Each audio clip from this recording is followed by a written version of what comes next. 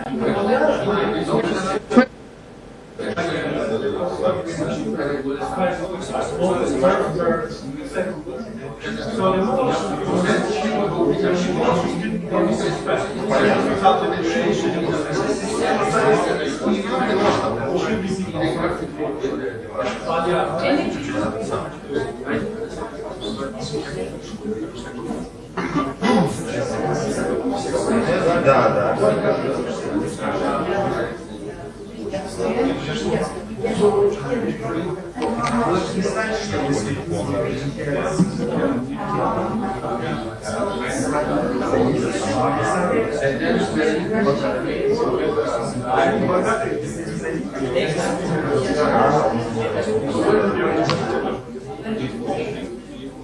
Thank you.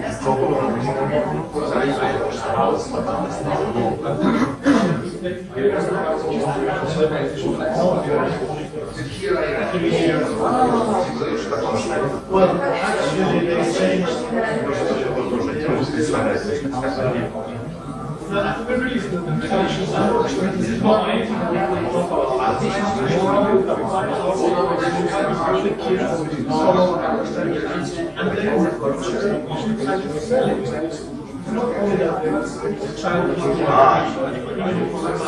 you.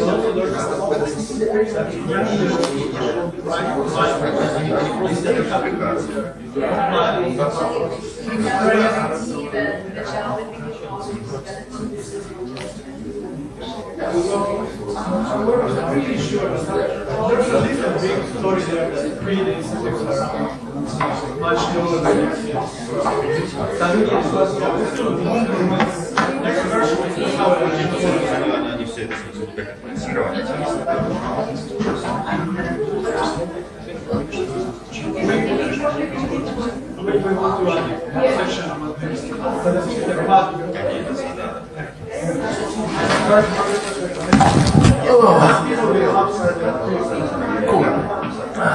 are you? So if that one was just telling me that uh, I understand that it's a linkage between your institute, like the institute and IZA, right? That, that you were, Well, uh, first of all, there's link between Harvard and no. So, and actually our center, a small team, you know, it was set Put on the presentation, because I, I which one? Deep search box?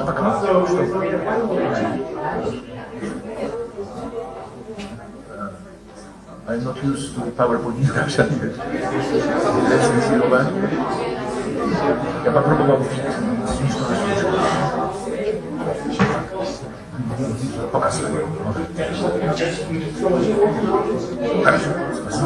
Yeah, so the whole idea to set center. Ah, so we had, we had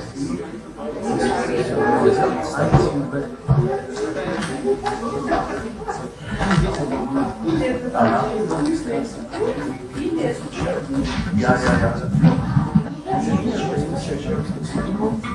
Course.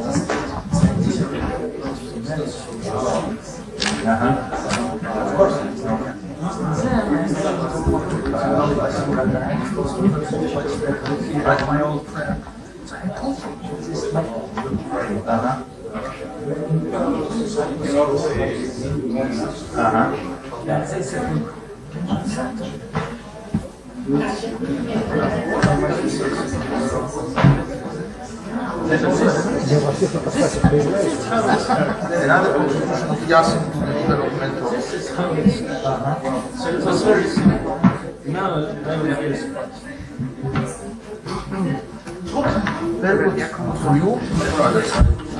So, uh, dear colleagues and friends, it's time to start our after lunch session. It's a special session. It's invited policy lecture, and uh, I'm very uh, happy to say that today we have special guest, uh, Mikhail Rutkowski from the World Bank. Mikhail is uh, World Bank country director for the Russian Federation. He has uh, extensive experience of working in many countries and on many issues. And uh, I think we will have very interesting presentation, and we are looking forward to learn more how the World Bank and Mikhail Rutkowski look at new social policy challenges in Russia and probably even a little bit broader in the region. So your floor. Thank you. Thank you very much, Vladimir. Uh, thanks for the nice introduction. Um, I have to say on a personal side that I am very grateful to the organizers, to Hartmut, for inviting me. Also because uh, a long time ago I was a labor economist. Hartmut remembers that uh, very, very well, 20, 22 years ago. Uh, so when I was a labor economist, I feel very, felt very much at home in a, in a setting like this. Um, I think I'm not one anymore, and you will see my presentation will be kind of um, on a light and more policy side, uh, but it's always like family reunion. You come back to the place and you suddenly feel the energy I remember from many years ago. So again, thanks very much for inviting me. It's very, very uh, uh, pleasant to, to be here. And um, and what, what you are going to hear uh, from me, uh, for most of you probably would not be new at all. You just know the facts. I, I, talk about the facts. But maybe it would be useful for you to see how we in the World Bank frame the challenges of social policy in Russia. And any feedback from you on how we frame them would be, would be useful. Uh, so it's more about interpretation and framing than about uh, facts, because facts are, are not new, but you may see what we think is really important and what is uh, less mentioned. So um, I'm going to walk you through, and maybe, you know, I use this term new social policy to be provocative. There is not much new in that policy. However, it is not a policy that is in practice being implemented. So in this sense, if implemented, it would be new. Let me also, as a part of introduction, say one more thing that fundamentally, fundamentally, the issues I am going to talk about are absolutely fundamental European labor market issues except that in Russia, some of them are in a much more acute form than you see in Europe. So in this sense, there is an interesting learning from Russia to Europe uh, in the sense of seeing the same issues but more uh, in a more crisp form here in Russia. And let me start with one uh, thing that motivates, in fact, the whole presentation, which are demographic developments uh, in, in, Russia. Uh, and this is an example of something that is particularly uh, acute. Um, there has been a long trend of the absolute number of, of Russians in Russia falling due to a decline in fertility rates and initially in the 90s increasing mortality rates. The life expectancy at birth fell to uh, unprecedented numbers and unknown in Europe primarily due to mortality of men um, at prime age. Um, and uh, this fact led to this dramatic trend. Since then, uh, life expectancy has rebounded but fertility has not improved, so there is a continued trend of falling population. Actually, um, actually, uh, Russia is losing one million per year of Russians in Russia. Um, and then when it comes to labor force, you will see a quite dramatic decline from 141, well, this is population, 10 million population uh, uh in 2000 till 2050. And this type of a fall is, um, uh, uh is actually quite rare in terms of how dramatic it is. Um, there is also one factor here, which is that there is a, as I said, there is a lower mortality now and there is improvements in life expectancy, but given low fertility levels, it's not likely to, um, uh, to reverse, reverse the trend. What are the other uh, unique features of this Russia's transition? Um, uh, here I mentioned this working age population, 1 million per year, 2012, 2017, you basically have 5 million gone in, in next five years, which is a very rare uh, decline rate. Um, uh, and then we come to the issue that has always been around uh, in Russia, which is mo morbidity and mortality pattern, especially of men, uh, and that in a more in a more uh, subtle language, the increase in non-communicable diseases. I come back to some aspects of those um, later. Uh, one interesting feature of uh, developments in Russia, which is actually does not bode well for the future, is the fact that uh, women actually have children at a younger age uh, than in other countries, comparative countries, say in Europe. So what is likely to happen if the, there is an adjustment as it happened in other countries when income was growing with going into uh, with fertility, with women being basically older when giving births, that is likely to contribute to further decline in fertility. So there are there are forecasts that say that the uh, picture as we see it may actually not be um, uh, not be um, may even may even get worse. So the, the, let me now uh, move to what are the consequences of, of this um, phenomenon, and I will just limit myself to consequences related basically to, to, to social issues, labor market issues and related, and none of them will be surprise to you, but um, the way, the way, uh, the, the, this is an attempt to cover in one graph a complex um, mm, uh, set of consequences. So you have in the upper part uh, the fact that fewer workers lead to lower output and lower economic activity. But then this is sort of direct impact, and here I'm holding productivity constant at this point. But then you have the, if you like, second round effects in the lower part, uh, which is that through its impact on what's happening elsewhere in the social policy areas, in pensions, in health, in social assistance, you have a second round effects. And in pensions, it's the issue of dependency ratio and um, uh, the fact that, uh, the, the, that it, it's worsening. And then there is a, mm, uh, in, in health, there is an issue of the, of the health status. I mentioned non-communicable diseases. In social assistance, there is an issue how it contributes to then the incentives to work. And um, the way to deal with the demographic transition consequences would be to actually um, work longer, improve the health status, and increase the labor force participation through proper, proper set of incentives. That would contribute to the increased number of, of workers and would have a chance to offset the lower economic activity. But then you have the other side, which is the productivity side. And on the productivity side, I basically, again, as I said, I limit myself to, to, if you like, social sectors. So I emphasize education and increases in human capital that increases productivity. Of course, what is big absent in this picture is capital labor ratio. I hold it constant here, don't talk about it. But this is a far bigger challenge for the Russian economy, and maybe this is a useful point to insert it, which is that um, one of the biggest challenges is the need for diversification away from oil and gas. Uh, development of new activities that are outside um, uh, oil and gas area, and uh, and that could uh, and, and increase in investment rate, especially private investment, and all these activities uh, are not actually possible without radical improvements in business climate in in Russia, because only then you can expect the FDI going up, private investment generally going up. Uh, and uh, as you know, when it comes to business climate, uh, Russia scores low internationally. One of the indicators that is popular in Russia, and we are very proud of that in the World Bank that is so popular, is the World Bank doing business indicators, the ranking which we publish every year. We rank countries, which is very unusual. We uh, typically in the World Bank we try to avoid uh, ranking countries because it's very contentious, and doing business indicators is contentious. Russia is 120th among 180 countries which we rank. So it's very, it's quite low. Mm, and uh, Singapore is number one, uh, for instance. Uh, Poland is 60th.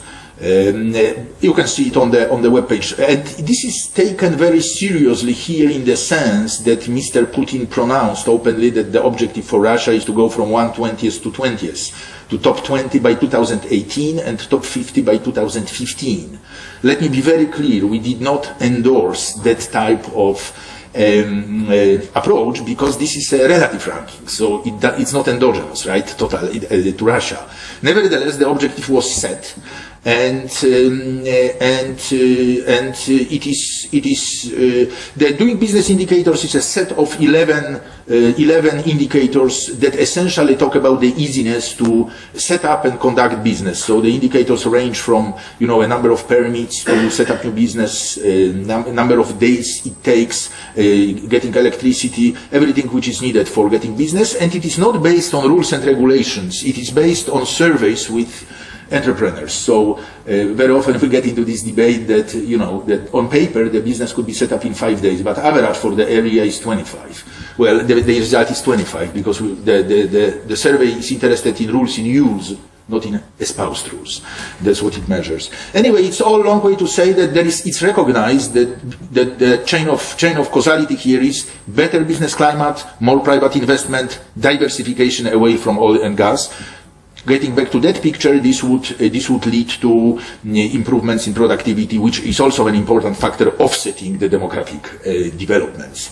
Um, uh, I, I, as a footnote, uh, one of the things which is extremely essential uh, in discussions in Russia is to see the diversification away from oil and gas in institutional terms, not in structural terms. Very often that means, oh, therefore we need to invest more of public money into Skolkovo so that we diversify. Well, that is a part of the equation, but much bigger part of the equation goes through business climate and through, through institutions, institutional improvements. So this is, these are the challenges, and then mm, I wanted to go further into impact of those challenges on um, the other uh, issues in social sectors, primarily pensions and health, uh, a bit more in depth. Again, nothing surprising here, but you have, you have first and foremost the issue of pension system in, in Russia. And um, the, uh, the, actual retirement age is at this point 54 uh, for men and 52 for women. So it's very, very low. I'm talking about the effective one, uh, factoring in all the special privileges. And increasing retirement age is not only, is not only um, well, I get back to that a bit later. But anyway, there is a falling, uh, the, the, there is a growing dependency ratio. It's projected to nearly double, which is a very rapid increase, primarily related to aging, and there is a fiscal issue related to how the pension fund. Pension fund is a pay-as-you-go pension fund. It's called pension fund. It's not a fund. It's a pay-as-you-go institution, but it's called here pension fund of the Russian Federation. There is a projection of uh, uh, rapid increase in deficit, ceteris paribus, um, uh, and then uh, you have increasing health costs because of aging, non-communicable diseases, and increased healthcare costs. So you have pressure on expenditures, both on the pension side and on the health side, as a result of demographic developments. And that puts um, huge pressure on, on, on, on, on fiscal pressures. And what is the fiscal situation on Russia? Well, the overall budget deficit is, is, is, is very small, very tiny, I think around 1%. But non-oil deficit is now 9.8. It used to be 11, but it's around 10%. So it's very important to distinguish between oil and non-oil, because that means that the budget deficit, however low, is extremely vulnerable to oil prices. Oil and gas, gas traces oil. So, so, so vulnerability is huge. Um, but in terms of the, the, the graph I'm showing, it's basically, it shows the need to free up resources somewhere in order to be able to respond to pressures related to the consequences of aging. And, um, uh, and then one thing which in this context is perhaps worth saying is that the pension system in Russia, in terms of the way it was conceived, is actually a defined contribution pension system in a notional defined contribution form in the pay-as-you-go pillar and financial defined contribution form in the in the funded pillar. 6% of mandatory payroll goes to funded uh, pillar um, and there are discussions underway to actually change the system and undo that feature. But this is besides the point what the discussions are, although it's very high on my mind. But um, the, the point I wanted to make is that this system doesn't really work as, as defined contributions, especially because in, for, not, for, in, in a pay-as-you-go system, for a defined contribution system to work properly and deliver on what it's supposed to do, which is automatic adjustments to life expectancy growing. This is how the how the pillar is, you know, notional defined contributions means you have a you have an individual account. You don't have money in this account, but you have your pension rights accumulated there, uh, based on based on based on exact knowledge on how much is paid as a social security contribution that is used for payouts, but noted there. But then at the, uh, at the level of uh, retirement age, this is supposed to be divided by the actual life expectancy at that age. But actual one independently calculated by the statistical office, changing every year as life expectancy goes up. This is how that pillar operates in Sweden, Latvia or Poland. In Russia, there is an arbitrary factor of 19 years now being increased to 21 years as uh, a further life expectancy. So it doesn't have the automatic adjustment because it's arbitrary, it's endogenized. So it's not really notional defined contributions. For that to be notional defined contributions, you would have it as an you would have, need to have an objective independent variable reflecting actual life expectancy at the age of retirement. The point I wanted to make, even if it was fixed, even if it was fixed, and the system operated as genuine defined contribution system, the problem would be the following. Then there would be an adjustment, meaning the pension system would adjust to growing life expectancy. But given the proportions between the working population and pensioners, the replacement rate in the pension system would go down quite radically. The current replacement rate is around 40%. If suddenly there is automatic adjustment in the Russian pension system, the replacement rate average goes down to 25, which would be quite unprecedented at the country at that level of development. We are talking here higher middle income country that may hit upper, uh, the high income countries in a few years. So, so, so this is just to give you a bit of a, uh, more depth into the problem, that it's not only a problem of I think it's a long way of saying that there is no way to do something without increasing retire actual retirement age. Mm, uh, uh, Uh, and that is the, the only way to go. So, this is about the, this is the, the, definition of the problem and now going to solutions. So, and here again your, your input is welcome, but uh, this so-called new social policy, the way I frame it, I frame it through the principle of activation. You would recognize those of you who are involved in the work on European labor markets would remember this word having been around us for many, many years, uh, starting with active labor market policies, but then making, uh, broadening it. But basically the, the, the, there is a need to a philosophical shift from thinking of the government taking care of an individual throughout working and non-working, well, non-working, working, and non-working life, to the government helping people to take care of themselves. And essentially, this is uh, this is this is the the shift that is needed for uh, responding to demographic pressures, to pressures resulting from demographic developments.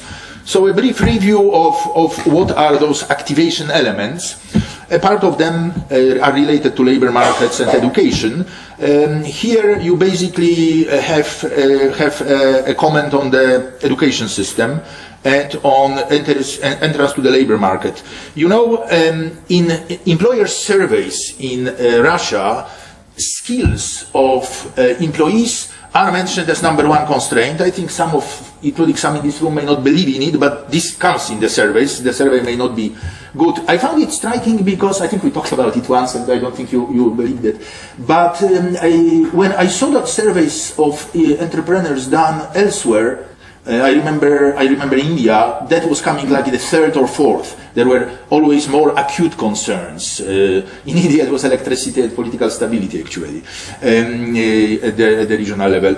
Um, but the fact of the matter is that there is an interesting feature in the education system of, of Russia, which I, I think we should take a deeper look and maybe you can point me to those who did, which is that if you do the testing at the young level, when they are tested for so-called PIRLS at the level sort of school entry, they score very well, which shows that education is extremely important for families in Russia. The moment they reach PISA, which is 15 years old, it goes down. So once the school interferes, it gets worse. That's, that's a sort of a, sort of, uh, a response when you dig deeper into entrepreneurs, they complain about the lack of soft skills among entrants. Critical thinking, applying knowledge, uh, working in teams, stuff like that, which I mentioned in the first bullet. So it's not about academic thinking, but it's about uh, applied thinking. And, uh, and actually PISA measures it. PISA precisely measures how you use knowledge as opposed to what you accumulate academically it indicates uh, to me that the Russian system remains strong academically but has not developed on the side which is the most important for the labor market, which are soft skills. Um, uh, uh, and and uh, and this is where uh, bullet number one. Bullet number two basically talks about something of major importance for any aging society which is uh, an aging population. There are no aging societies, only population can age. So any aging population, which is the, they need to recognize the fact that people will not be working in one place anymore, that the globalization and uh, deindustrialization service sector essentially calls upon changing career paths, which goes into lifelong learning elements. So living longer, working longer, and changing works, uh, jobs uh, more frequently is a huge challenge. So developing a system of support to lifelong learning is needed, but it is weak in Russia, but it's needed as a part of what I labeled provocatively as a new, uh, as a new uh, social policy. When it comes to pension reform, uh, there is no, I, I have not seen a scenario in which pensions are fixed without raising retirement age. I see now the attempts of the government to do a proxy. So rather than saying retirement age, they try to fix it by number of years worked. If you increase that, you can see that it proxies retirement age, but it doesn't talk about retirement age because it's politically explosive. Uh, it, it, it is very politically sensitive, I said it even here. So this is something hard to talk about, but this is where the rubber hits the road, as the Americans say, if I recall correctly, because there is, I did not see a scenario, even including migration, even liberal migration from Central Asia, uh, and uh, there are a lot of migrants here, that doesn't uh, solve the problem of, of pensions. So there is a need for increasing retirement age, and then there is a virtuous circle, increase of the revenues, benefits to individuals, um, you have you have you have you have uh, predictable uh, improvements related to increasing retirement age. Well, health the same. It mirrors it mirrors the aging. You have you have the issue here of, of non-communicable diseases, but you have a very particular issue of abuse of alcohol, tobacco, and drugs. And road safety is extremely poor in terms of the number of accidents. In fact, it it went down only one year, and it was a crisis year because people, I guess, drove less. But otherwise, there is a growing trend in road accidents, which is again not a trend elsewhere, at least in Europe. So in this sense, there is a huge uh, agenda here. Uh, you would notice that you can smoke here pretty much everywhere, and if you are in a restaurant, basically they tell you non-smoking or smoking, but you are in the same room. There is not even room. Yeah, so that's basically different places. That talks about the sort of demand side, and then supply side and excise taxes. There is a whole comprehensive agenda here, which is very important because in this sense, in this sense, I think Russia lags behind uh, other countries, at least in Europe, in terms of uh, uh tackling this issue. And this is, um, the, in, this is, I, I guess, self-explanatory. And then social assistance. I think on social assistance, um, the, the headline is that actually the 90% of social assistance, so non-contributory spending to help people, 90% of that are categorical privileges acquired due to historical reasons and um, belonging to a certain professional groups. So targeted programs is only 10% of what is being spent under the label social assistance. And actually, uh, the, this 90% is, is slightly more than 2% of, of GDP. So a lot is spent on untargeted social assistance, which is actually not social assistance, No, well, it is, but not targeted. The point here would be, and this is a point of getting resources, is basically eliminate unnecessary spending on social assistance and had spent less, but on targeted programs that focus on poverty and vulnerability. And not much has changed in this area for last uh, 20 years. So there is a potentially source of both savings and better care of poor and vulnerable. And then there is an issue of incentives uh, to work uh, quite big here. Um, uh, unemployed and unemployment uh, um, uh, retraining of unemployed.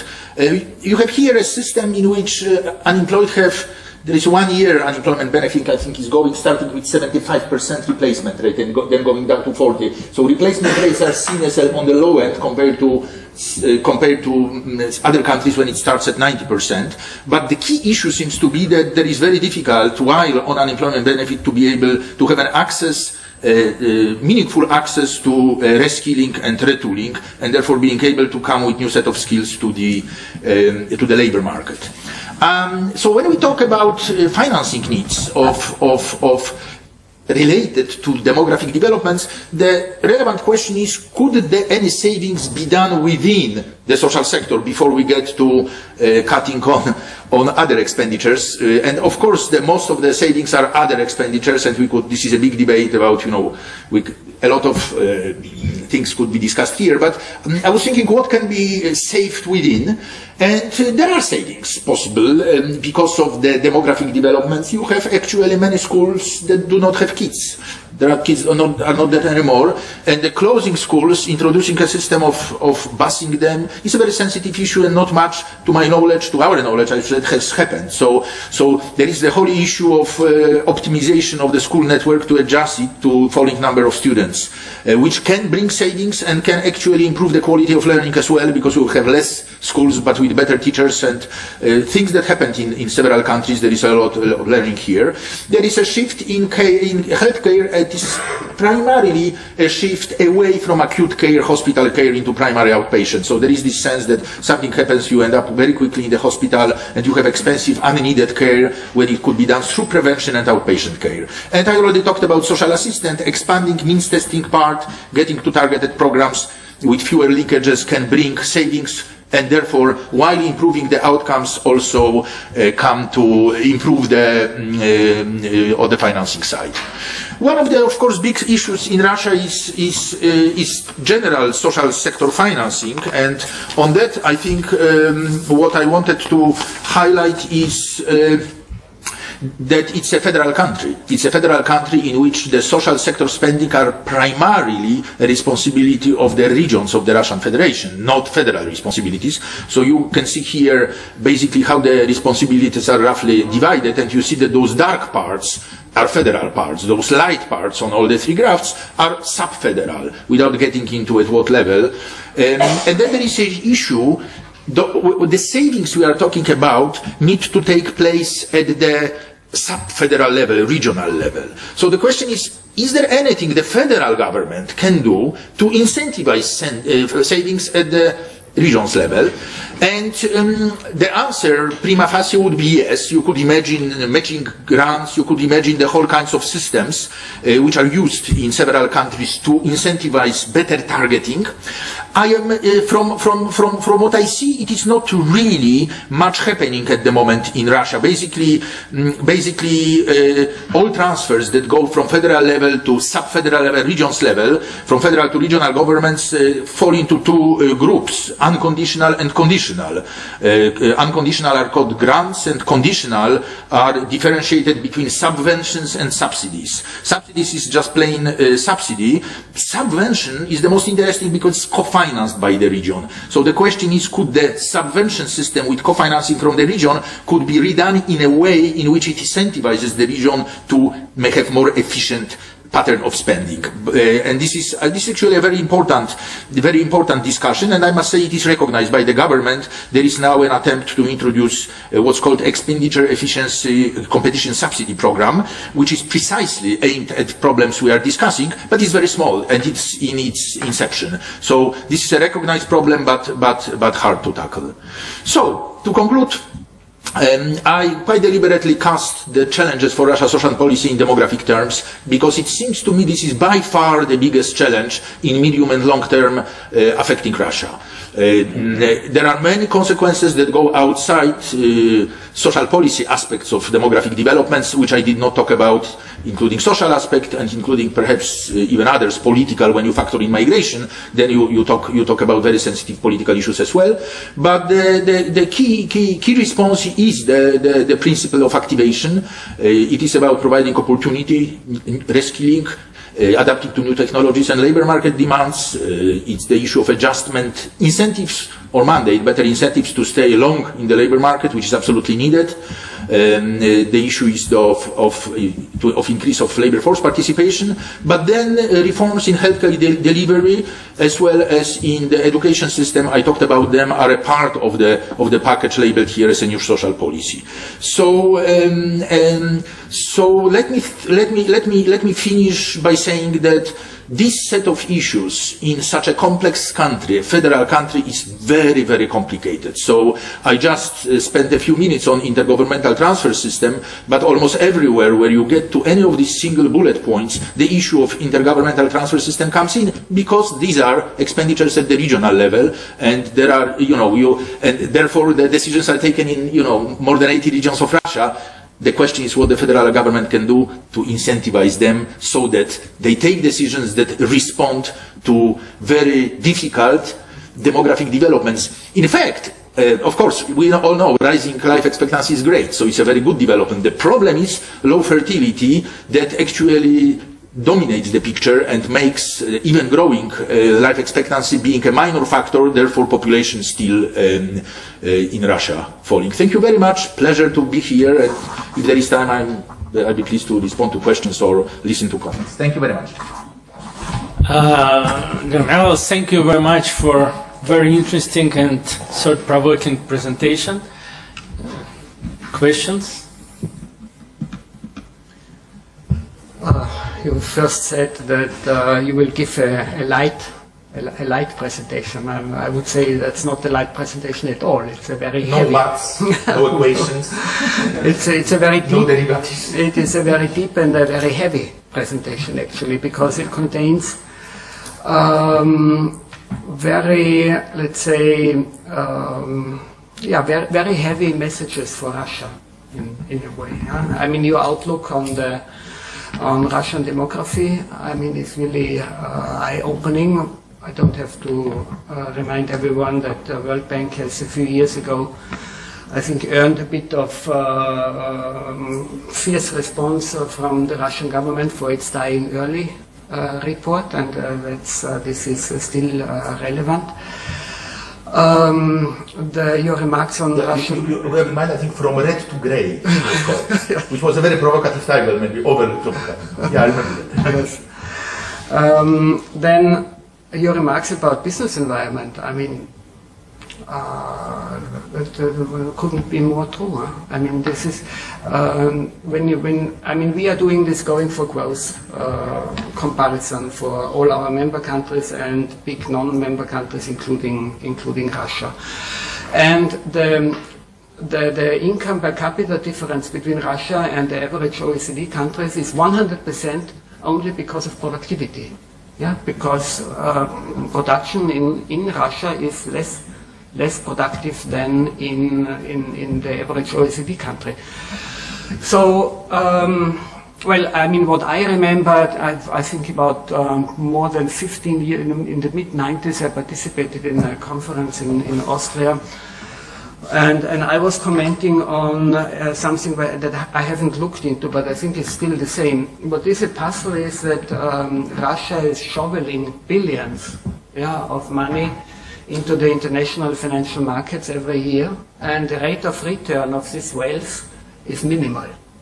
It is minimal, yeah. And at the same time, um, let's say Russian investments, no, uh, sorry, foreign investments in Russia are extremely profitable. Well, they have to be extremely profitable because otherwise, no foreigner is putting uh, uh, the, the, the, the money here.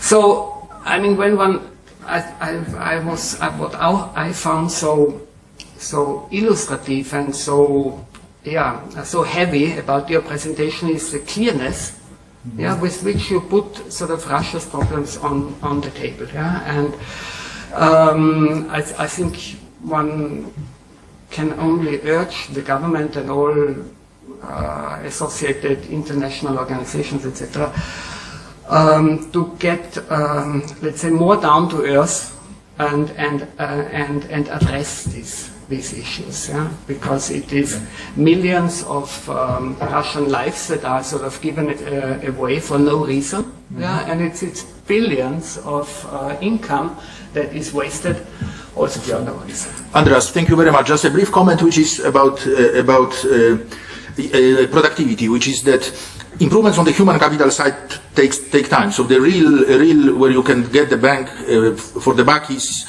in the area of business climate and investment. One of the things which we started doing with the Russian government, uh, which I think let's see how it works. We are doing a simplified version of doing business indicators for the regions of Russia. We got a lot of support from the government, and they like uh, in Russia they, they, they like rankings. So we, we just published one three months ago. There is a ranking of these 30 regions. Ulyanovsk came first, Moscow came last, and um, and this is seen as a factor that would a lot of things happen at the regional level. So that's why we thought talking about doing business in Moscow, you know, it's, it's, it's, doesn't uh, bring improvement. That's why we went to the regional level and let's see whether these doing business indicators at the regional level would bring improvements through either competition or attention or naming and shaming or praising. But that's just wanted to react to that because you are absolutely right. The, the, uh, where are the entries to, to, to act on the productivity improvement side is exactly the question. Thanks very much, Andreas. More questions? In the early 90s, uh, Russia and also Eastern European countries uh, had an educational system that was very much vocational. Many people claimed they had uh, a lot of education, high education, but in fact it was built into, into the firms. Uh, and that education was the most hit by the transition, of course. So uh, I think that that model, uh, in, nonetheless, had something uh, good inside. I mean, having some interrelation between uh, uh, between firms, labor market on the one hand, and educational system on the other hand, uh, was, I think, something interesting if we look at it from the German perspective, for instance, of the apprenticeship system. So at least for some part of the population, was good strategy to integrate and build the soft skills that we are speaking about. Uh, the other model is the American model, or the Anglo-Saxon model is uh, um, interaction through uh, individuals' choices. So, for instance, uh, uh, um, having uh, um, job advertisements in the schools, universities, uh, uh, training programs, and so on Uh, uh, for students. So, building at the same time education and uh, and work experience while at school. And third model is the Japanese model, which is like providing interaction between schools, universities on the one hand, and the labor market by offering students, uh, when they get the degree, uh, opportunities in the labor market. You say that uh, it is important the educational system in Russia uh, should build again some form of integration with the labor market. Which way would you suggest to go? yeah, may I? Yeah, which is, um, I think that um, um, I think there is a sense of the of, to rebuild the vocational education system in a modern fashion, and obviously Germany would be seen as an example of that. Uh, and, and where the problem exists, although I don't have with me hard data on that, and this is work underway. When you look at when you look at the size of Russian firms, what's happening is that they don't grow beyond certain level. There is a sort of tapering off effects for a number of reasons, which is a separate discussion. Whereas the firms, say in Germany, who are the most effective in working together with people to retrain them, are of the size that is larger than in Russian firms. So they don't have firms that could play the role German firms play. But I think going this way, and, and this is the issue of business environment, why it happens that they don't grow. So it's a I think what I want to show that it goes together with the issue of size of the firms and firm development in order to be able to build a good vocational uh, school system. Um, I have not yet seen the American Anglo-Saxon model working well anywhere in Eastern Europe, really. So in this sense, I, I, I, I, I appreciate the need to think about some modern version of the of the system uh, which you refer to. I wanted to say one more thing which you kind of provoked me to think about that along with the deterioration of that old uh, vocational education system, something else deteriorated which is highly relevant for what I talked about, but I did not talk about it, which is the early childhood development programs, kindergartens and first care for kids. That essentially go down the drain, the establishments were closed, nothing existed. Well, caricature. The point, however, is that there is now serious discussion how to rebuild it because of the labor force participation of women. And there is an example looked at, which is an example of Sweden, in fact, who did quite a lot of reverse the demographic decline through extensive um, network of, of kindergartens and, and uh, care for kids. Of course, Sweden is special. It's very hard to replicate Sweden, and it goes with a lot of other empowerment changes for women in Swedish society, which are not present here. But this is one uh, area of action which is highly relevant also for responding to the demographic crisis. I just wanted to bring you in. Uh, I thought about it when you talk about vocational education. Thanks. Thank you very much. Angelica? Just wondering, uh, you have mentioned briefly uh, migration policies, and I was just given your expertise in the area, would uh, very much interested if you could elaborate a bit more on it, on the role of migration policy for the challenges. I guess it's an important topic now that Russia yes. becoming immigration country, and is there anything I mean, other Eastern European countries, again, given your expertise on this topic, could learn, and vice versa, maybe, well, you know, from Russia. Good. Mm. Let me let me recognize Anya Prokhorova from the World Bank, sitting there, who works on migration. So she's welcome to comment or add any, to anything I or correct anything I'm going to say. Um, but um, putting aside political issues such as how many migrants Russia can tolerate and how many, what is the share of, say, um, uh, uh, Okay, let's enough. Uh, I will. uh, uh, putting that aside, there is absolutely it's absolutely needed phenomenon. Russia needs migrants. Uh, the issue is. Could the migrants be also a factor to overcome the shortage of skilled people? Could the migrants be skilled? This is again the key issue. That points to the fact, could Russia establish managed migration regimes with Uzbekistan, Tajikistan, other countries in Central Asia, maybe even China, because there is an increased Chinese migration, so that the migrants come prepared for the genuinely existing uh, demand uh, in the labor market, not only at the unskilled level, which is huge, it's actually huge. In Moscow, there is unemployment is what two percent. So it's um, or uh, but also higher uh, level at higher levels of skills and.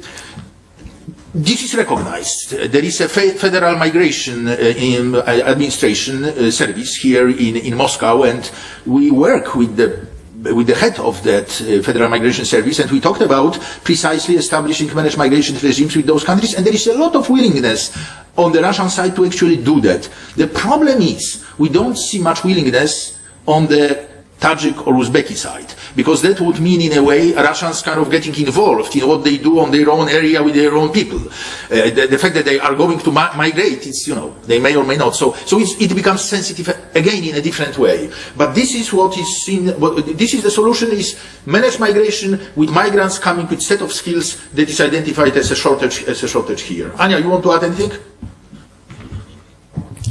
Um, thank you, Michal. I just wanted to add uh, another problem um, point that uh, requires attention. So when we're talking about um, the role of migration policy, we should also bear in mind that the issue is not in the number of people only, but in the level of skills.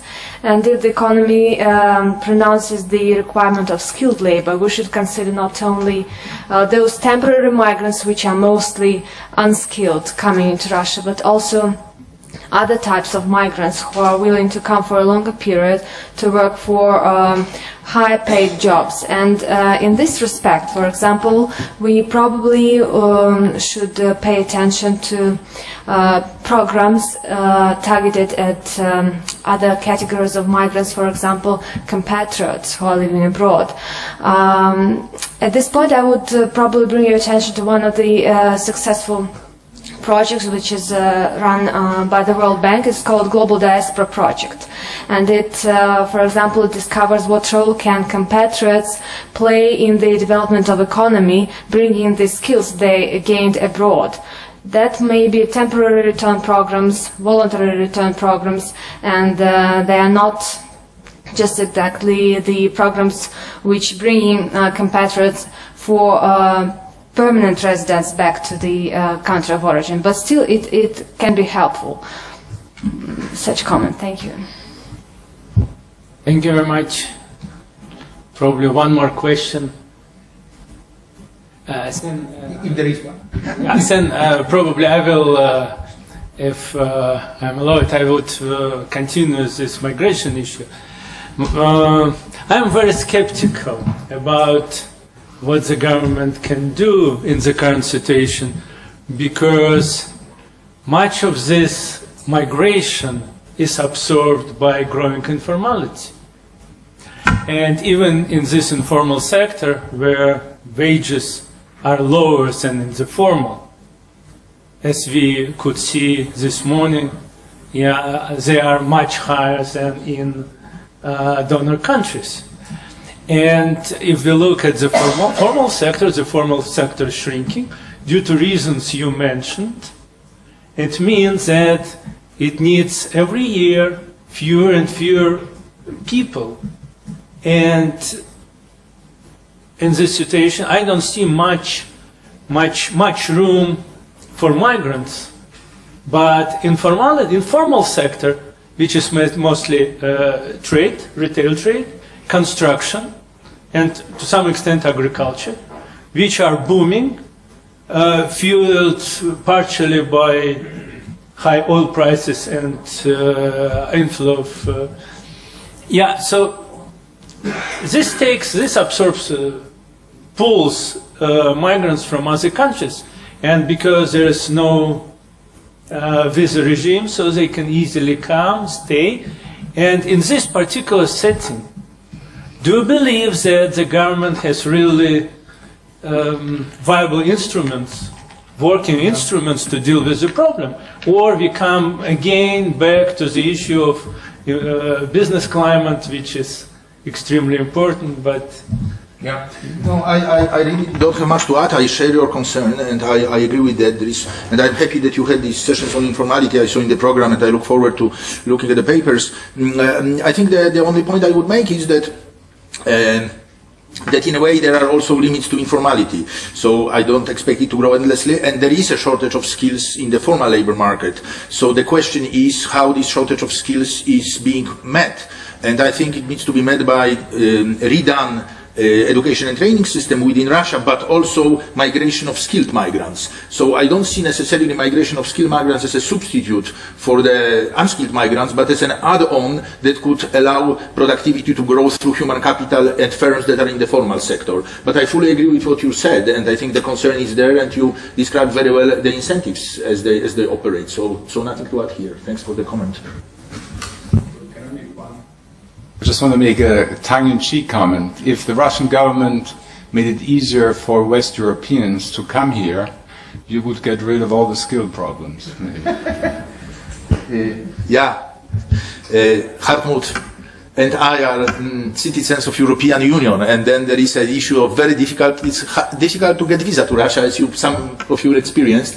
But I think this is it may be temporary because th- there is a debate underway, not a debate, negotiations underway on visa-free regime between EU and Russia, which Russia wants very much. So, so maybe, maybe temporarily you need to feel the pain so that Brussels takes decision uh, in favor of the visa-free regime. I think we probably will end up with visa-free regime for service passports. I think this is the Russian uh, view, which may not help many of you, or I don't know whether any of you hold service passport, but I, I, I, the way I see it may end up that service passport holders would be visa-free between EU and Russia, but I don't think EU Commission would agree on much more than that, but that's my, that's my speculation. Uh, so thank you very much once again for very very interesting Thank you. heavy presentation. Thank you.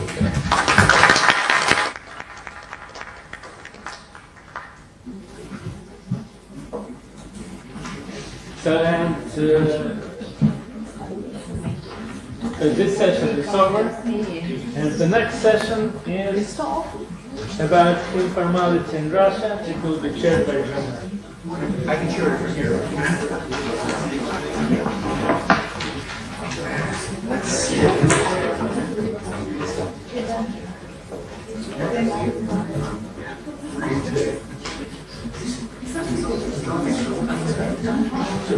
So who's presenting? Who's presenting the first paper? The, the, the both of you. John Bennett and Angelica Zaitseva. Risk attitudes and informality with an application to Russia. Please. So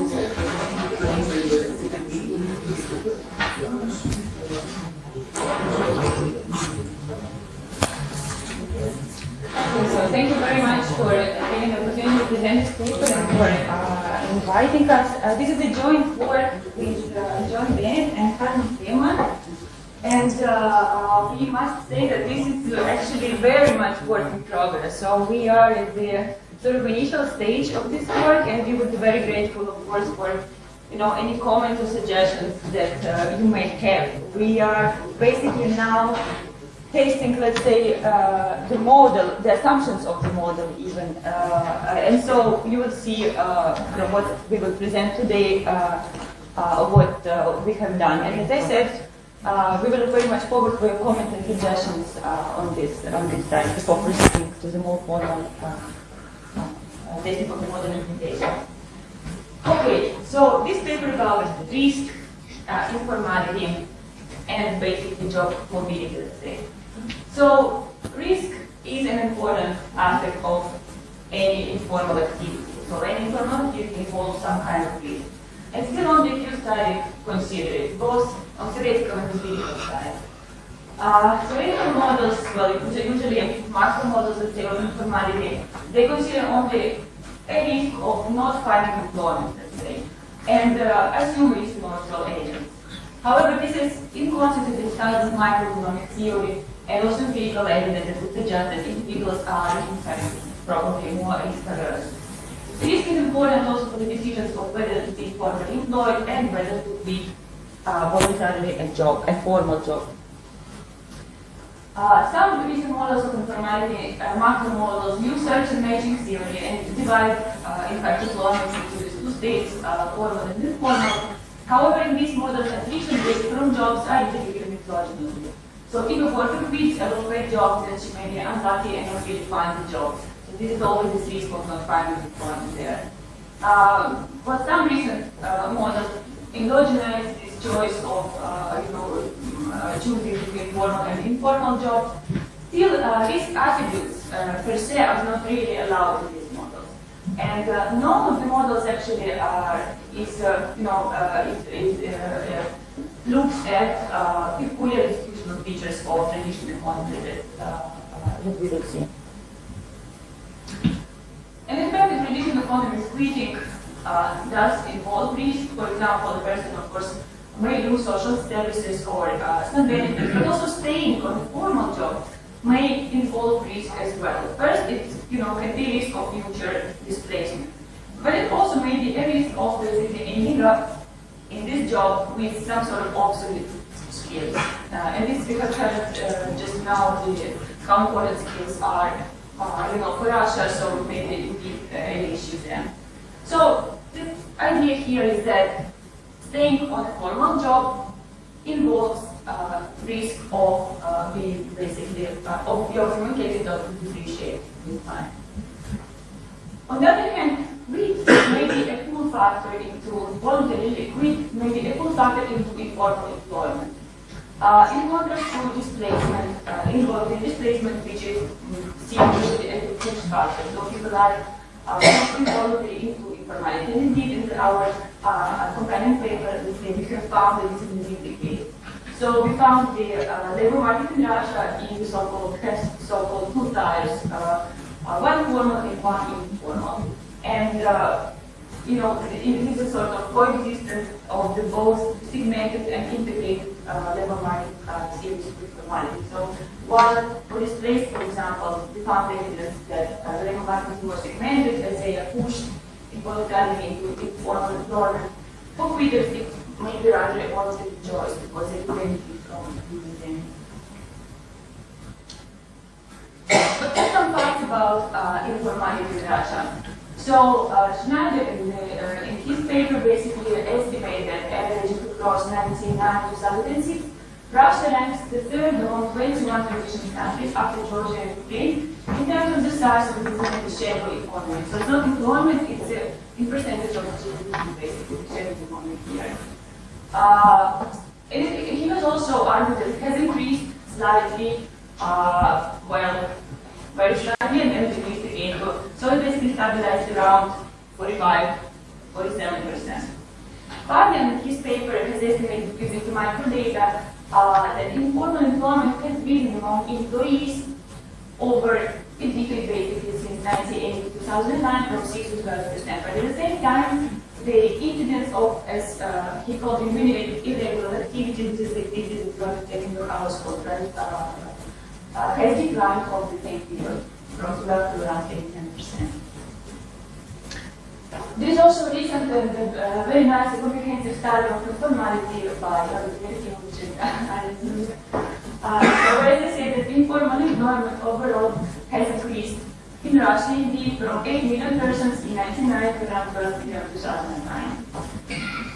The interesting feature of what uh, they found as well is that the share of employees in total informal employment uh, over this period has actually uh, risen, right? So uh, what you have uh, suggested is this is sort of peculiar, peculiarity of the Russian case. While maybe in many developing countries, the informal employment activity constituting of self-employment, in Russia, the share of employees is also important. They also found that the uh, informal employment was concentrated mainly in rural areas, among individuals uh, in young groups, and in fact, more than half of individuals younger than four years old, those with low education, skilled agricultural workers, and services area workers. So this is uh, precisely, as you have mentioned right now, where migrants uh, do uh, the, the occupation flagging numbers are also overrepresented. Uh, the regression results shows that indeed males young, those with lower education and uh, uh, occupations like service and field workers have higher risk of being informally employed. And uh, there is some evidence of the increase of the effect of education in occupations over the uh, last uh, eight years. So, the only problem paper for transitional economy that connects let's risk and informality is a recent paper by uh, uh, Thomas Dohmen, Melanie Khamis, and Hartmut Lehmann, and it's done for Ukraine. As I know, it is also a work in progress, so so far, uh, what uh, they have found that the risk lovers are more likely to engage in voluntary employment, also the effect of margin is significant. And there's a strong effect for self-employment, both formal and informal. So in this paper, what uh, what are we doing? We basically start with developing the theoretical model, which can be applied for a specific case of Russia, uh, of Russia. We accounts for risk aversion, quitting behavior, and informality. Uh, as I said, take into account of the. Economists and department test our model, uh, first its assumptions and then the implications with respect to quitting behavior using the uh, uh, Russian longitudinal monitoring scrutiny. So now I pass the floor to John Bennett, uh, who will tell you about the model. Okay, thank you. Um, I think this slide, uh, I should say first of all, theoretical model, I, I, would prefer to call it theoretical framework because it's just uh, a beginning and it's very simple, but it does aim to be as simple as possible, so I think that's a merit. Um, so, as Angelica said, um, if you're in a formal job and you quit, then you're, you're taking risks, which she has specified and specified up there. But if you stay in your formal job, that involves risks as well. So you have to weigh up the risks. It's an individual thing. So we're looking at a, we're formulating a very simple model that, um, that uh, very simple framework which takes those things into account. Now, um, uh, I would view this as an extreme reduced form, and that, that's the idea, because if you think about the situation facing any individual that's in the formal job, they've got to think all the way into the future. If they can quit now or they can not quit now. I thought, don't quit now, DQ. Okay? Um, but for each of those um, actions, uh, in order to take them, they have to calculate for each of them, all the way into the future, they're subject to probability distributions of every possible thing that could happen. Okay? Including uh, displacement in the future, maybe moving into a formal job in the future, an informal job in the future, anything that can happen. So um, it's subjective and it's very complicated. So we could build a model of that. If we did perhaps, if we did build a model of that, what it would all come down to is today's decision. Do this or do that. So what we've done here, to make it very simple, we may work on this further and make it complicated. Maybe, I hope not. Uh, what we've done here is just gone to the extreme, extreme reduced form and just say you do this or you do that with, with summary um, uh, uh, sort of parameters which capture the risk and the, the possible outcomes. So um, we assume in this model that the worker makes a decision today based on two things. R is risk aversion, and the other thing we've put into the model is skill. Okay, or rather human capital, call it skill. Okay, but this is skill. This is a measure of skill which is relevant for informal earnings, whatever that measure would be. It's not necessarily some skill that's useful in the formal sector.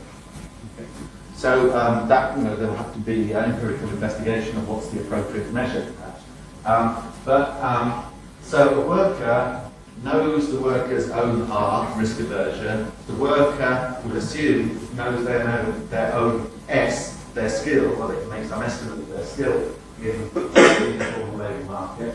And there may be subjective evaluations of everything that might happen if they quit or don't quit. Okay. Um, so, I mean, the idea then is that we want to make a very simple formulation so we can use some available data, even though obviously we wouldn't have all these subjective evaluations of all probabilities into the future.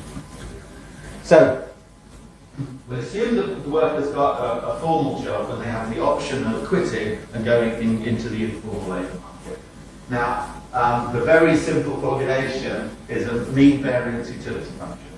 So um, if you quit, your utility if you quit is the um, mean of your the present value of your earnings into the future. That doesn't mean you'll even stay in the informal sector, but it's what you think is the present value of your earnings into the future, and it will depend on what you think your skills are, or in this model, what your skills are. Okay. Um, also, it will depend on the variance. So there's the, the risk involved, the variance of your earnings, the present value of your earnings the. And a standard mean variance utility function, the, the R there is risk aversion. If R is zero, then you're risk neutral. As R goes up, you're, you're more risk averse. But absolutely sort of elementary um, uh, formulation of utility. Um, and uh, we assume that um, if your skill is higher, then your mean, uh, I'll just call it income because it's too complicated to say the present value of all that stuff, all right? Your, your mean income will be higher if your skill is higher, and also the variance of your income will be higher if your skill is higher. Um, I've been lazy, we've been rushing, so I haven't put um, uh, any uh, references on there, but the evidence seemed to be that the, that the variance of income does increase uh, with education and, and, uh, and uh, higher um, income in practice. Okay. Now, um, a strong assumption. Um, we assume that these skills that are valuable in the informal market are considerably less valuable in a formal job. These particular skills. So therefore, we could, this, this doesn't really matter. We could formulate the model as still being valuable but less valuable, and then it would be messy, but it would come to the same thing, there'd be lots of conditions.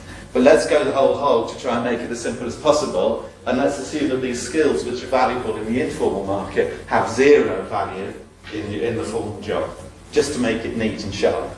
Okay? So your utility, if you don't quit, um, is a mean, a variance, and uh, your risk aversion. Okay, with um, each of those positive, and we have to make, uh, as in number three there, there's an assumption which is necessary without which all workers would quit. That's just a, uh, you know, with, with mean variance utility functions, you have to make some assumptions about the size of parameters, otherwise it all goes meaningless, the model. Okay, um, one more thing, the whole model, we, we want to ensure that um, if you quit, that higher skill is associated with more utility, absolutely basic. So we have to impose an assumption that the risk aversion can't go through the roof. It's got to be limited. Okay? So, and, and the, the, the result uh, depends on that, that assumption. Okay? So then all we do is we say that um, for any individual with a given R and a given S, they will have equal utility. We want to, we want to get the borderline uh, values of R and S. Okay? And their utilities will be equal, and any individual will have equal utilities if R is equal to R0, which of course depends on S. So, um, nearly there. Um, now, didn't change that bit, sorry.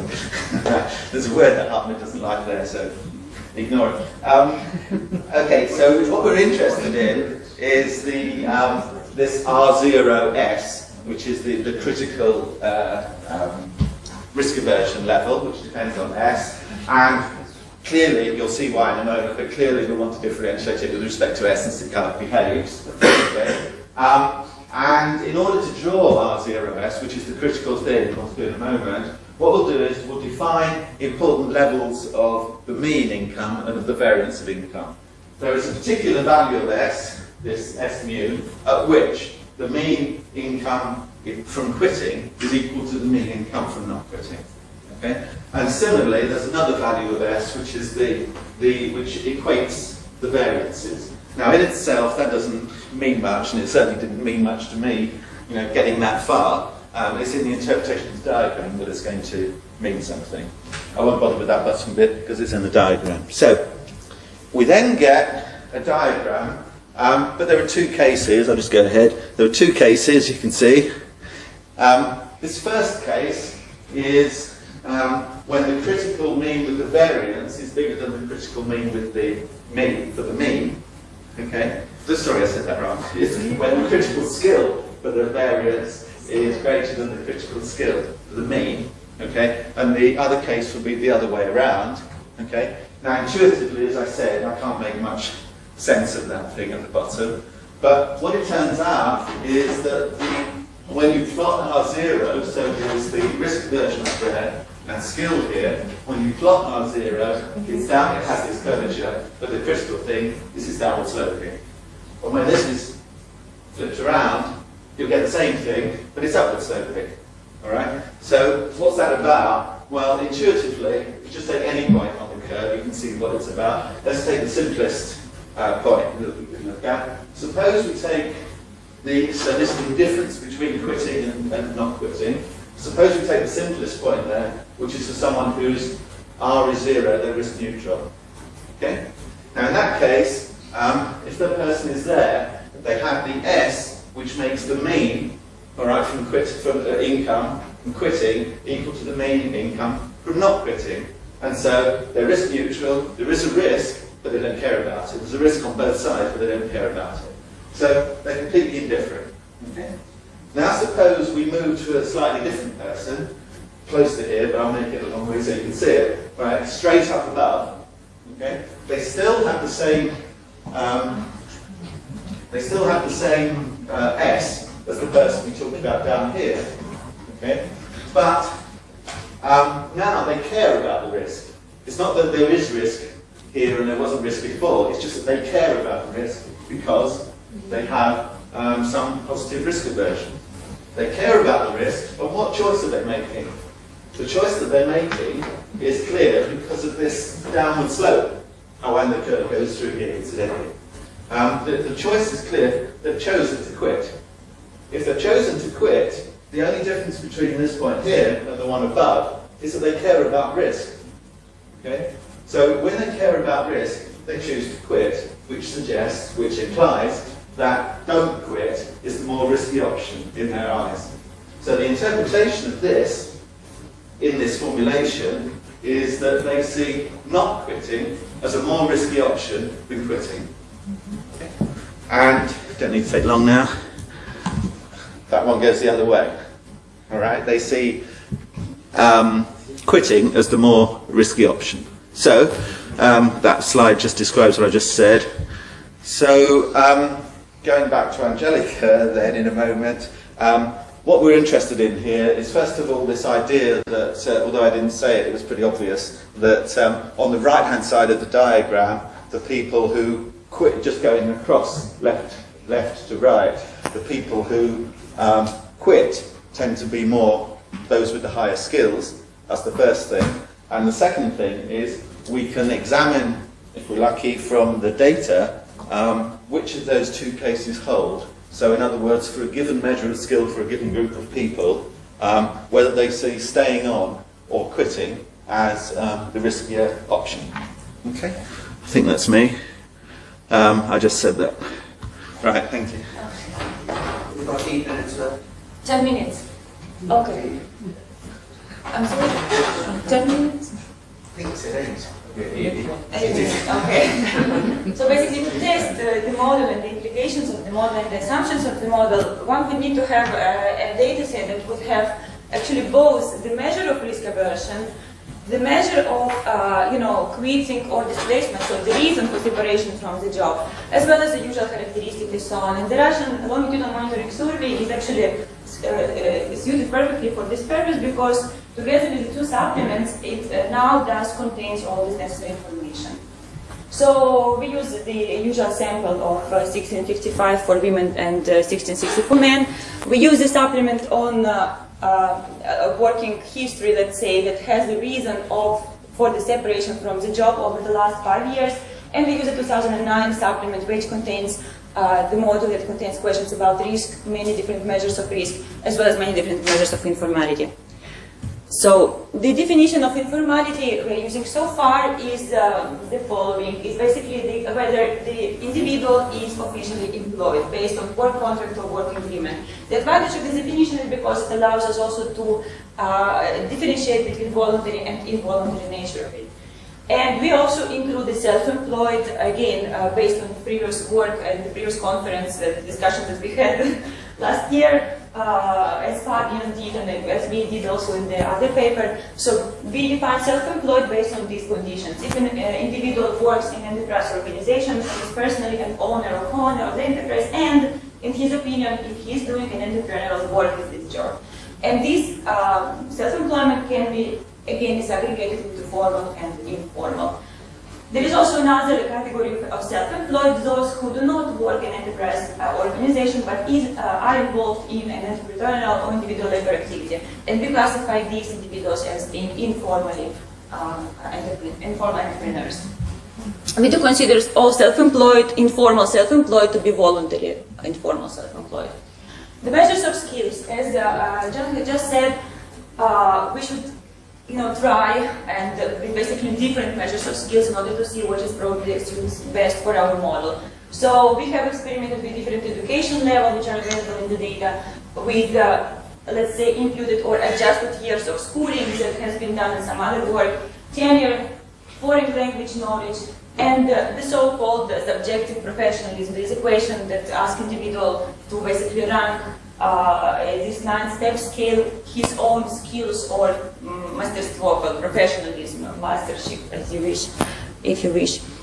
Uh, the measure of risk, it comes from 2009 supplement. Uh, it's an uh, important, it's an experimentally validated risk measure that has been actually used and uh, uh, um, that has been uh, proposed into uh, the other uh, data set for Germany, the GSOEP, and it has been also validated uh, with different experiments. So it's uh, uh, the papers by Dohmen and, and, and, others. So it's a scale of risk. The question is asked as follows. basically, individuals are asked if, so imagine a scale going from 0 to 10, Zero meaning extremely risk averse, and 10 meaning you are very much willing to take a risk. So where on the scale would you place yourself? And then there are different domains, career-related risk, um, driving-related risk, and so on. Um, financial uh, risk, and so on. There is also a related question uh, which is which was proposed in the literature uh, as a objective risk measure, which is a hypothetical investment uh, amount or basically asking an individual if you would have a certain amount of money uh, given to you, so how much of the money would you, um, how was it, how much of the money would you invest, right, and uh, get the return of the X, uh, so this amount of money, that amount of money, and so on and so forth. So from this question you can also generate the perceived objective uh, risk measure. So far we are using the first um, risk scale uh, as an indicator. Uh, measures of uh, the past quits over the last five years based on the question about the reason of separation from the job. There are 25 questions and uh, basically the classification is, uh, I'm not going to show you all of them, uh, but for example, something that was not display involuntary displacement like plant closure or downsizing uh, or so on. So there is a uh, like 15 other questions that would uh, classify as voluntary quit from a job. Now, we have experimented, we are experimenting both with separation from the last job as well as quitting at least once over the whole period of time. And uh, important, we look at the quits from formal job as a model to predict that initially everybody has a formal job with an option of quitting into the informal phase, right? So quitting from the formal job overall and quitting from the formal job into informality. So just to show you a little bit how risky is uh, the Russian population, the, I've shown here distribution of this risk scale uh, going from 0 to 10. You can see that, uh, as probably expected, the majority of people like being on average, uh, you know, something in between. It's uh, by uh, uh, informality employment status, so again, as expected, probably formal employees are, uh, are more risk averse comparing to both informal employees and self-employed. Interestingly, for self-employed, distribution is also uh, well, skewed to, on the, to, to, the right, so there is a lot of self-employed which are uh, risk-loving in, this, in the right end of the distribution over there. Now, just to compare with other study, another, the only decent study for Ukraine, here, we just plot two both of the graphs and basically note that the scale is different here. So in Russia, uh, the Russian population, more uh, the high proportion of Russians would reply having middle risk, for example, than uh, in Ukraine, for example. And another feature is also that in Ukraine, at least the former employees seem also to be quite more concentrated into the, to be more risk uh, averse, so between zero uh, uh, and. Okay, sorry, this is uh, for the quality, but basically it's just to show you that consistent with another paper, we do find that uh, risk is correlated with the informality status as, uh, as expected. Uh, and uh, we do proceed with testing the assumptions of the models.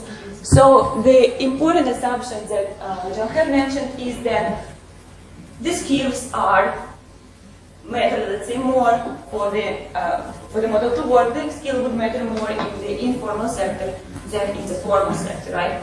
And the measure of skill can be here wherever. It can, may, may not necessarily be the skills obtained during the Soviet uh, era, for example, the Soviet type of uh, education. So what we have done here, we have basically generated our, we have divided our sample into two groups of people. Those who were less than 18 years old in 1901 and those who were older than 18 years old in 1901. Basically, the assumption would be that you acquire your human capital, the most of your human capital, before and after the breakdown of the, of the communism. And then we're using these other different measures of uh, skills. Here, for example, are years of schooling, the continuous variable interacting with, interacting with different measures of um, um, different uh, categories of uh, formal informal employment. The main message from here would be that if you look at voluntary informal uh, interaction in years of schooling, column one would suggest that it seems that indeed this is sorry, the dependent variable here is the hourly wages. So this is the returns to uh, human capital by different uh, uh, uh, categories. Uh, and as you can see, basically, if you compare these two rows, it seems that indeed the coefficient is uh, higher than the one in the uh, formal for formal two minutes for formal employees. So indeed, it looks like the model is not far from the reality. It does. Uh, uh, it does. Uh, the assumption is not so. Uh, uh, let's say the assumption is quite correct. The important thing also to note is that this whole uh, assumption that, that this whole story comes from self-employed. Because here, if you when we have disaggregated the uh, informal uh, workers into uh, voluntary informal employees, as well as into informal self-employed, right? So the red, uh, uh, marked in red here are the returns to uh, years of schooling for the informal self-employed, which are higher than those that are in the formal sector. Well, of course, here we should do the, all this test of the equality of the, of the, of the, of the coefficients, but you see that they're quite you know, larger, so we are pretty confident that, things would hold. Experimenting with different other measures of skills, we have tried, as I say, different educational categories, uh, tenure, uh, foreign language knowledge, and so on and so forth. But foreign language doesn't really seem to work here. This is a subjective professionalism measure.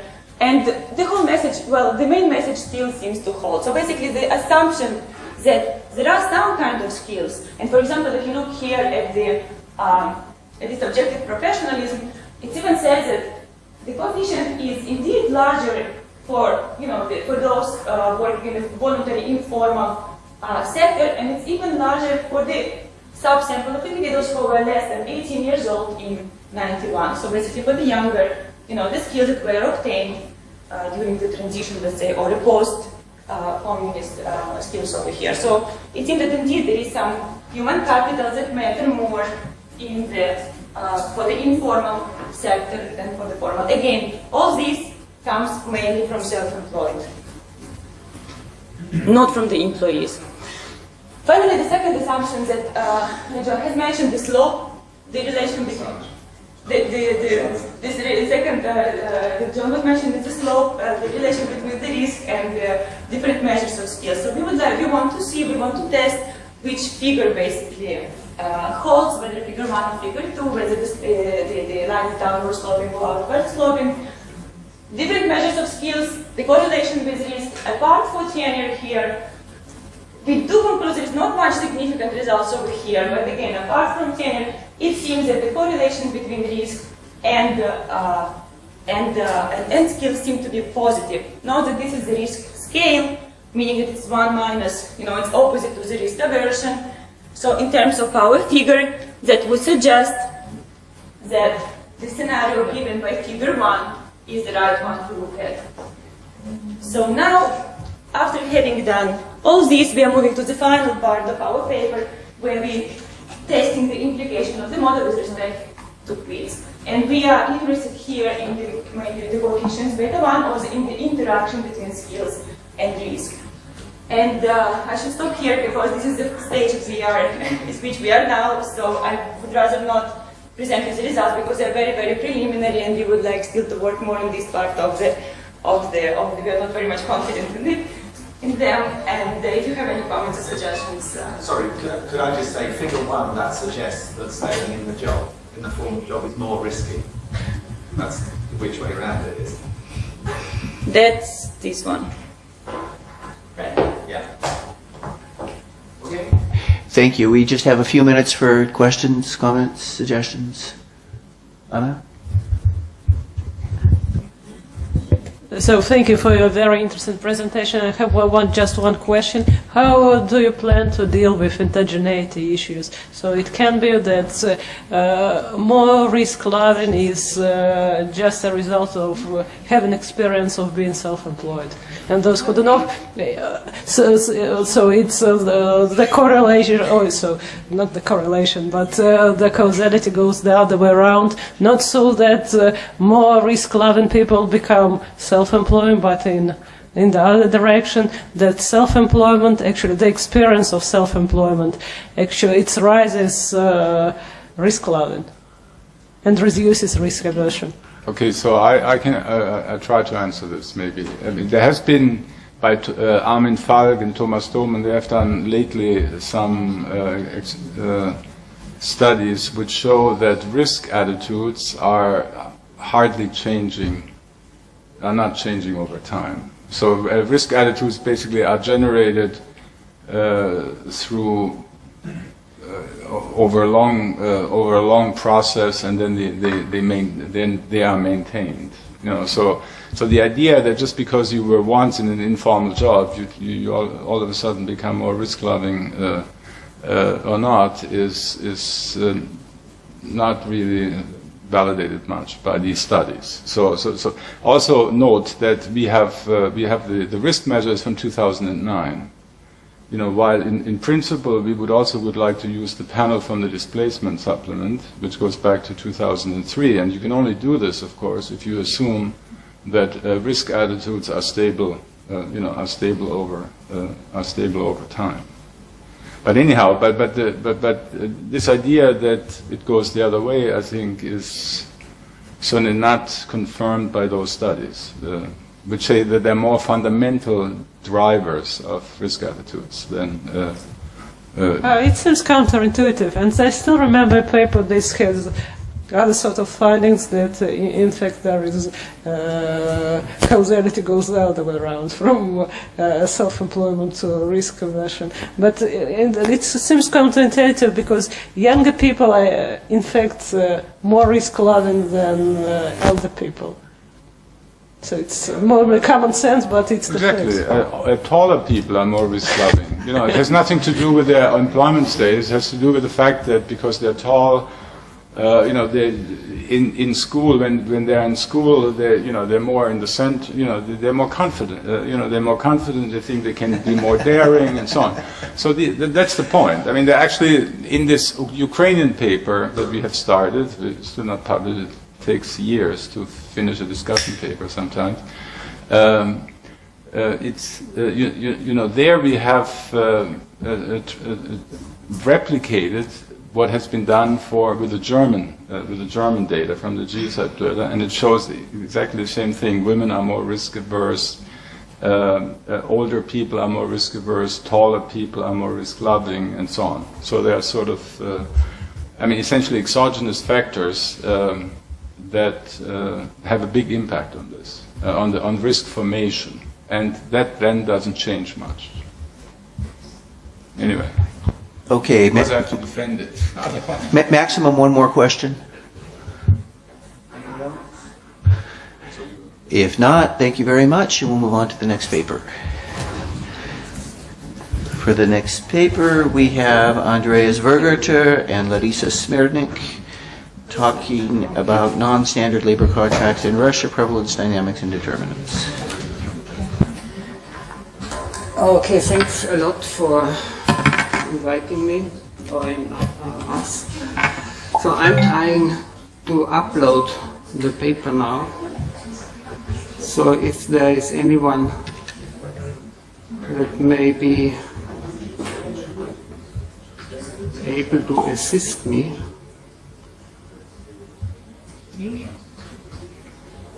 So, okay.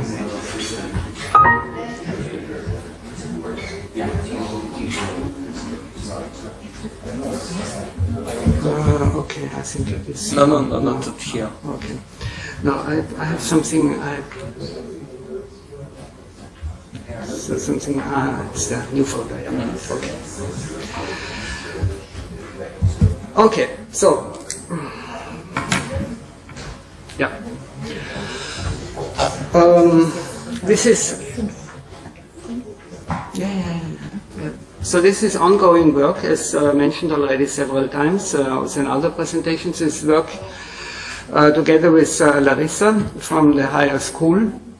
And we want uh, to uh, look into the issue of um, something that one could consider as an, an intermediary status between informality and a standard work contract, which is non-standard labor contracts.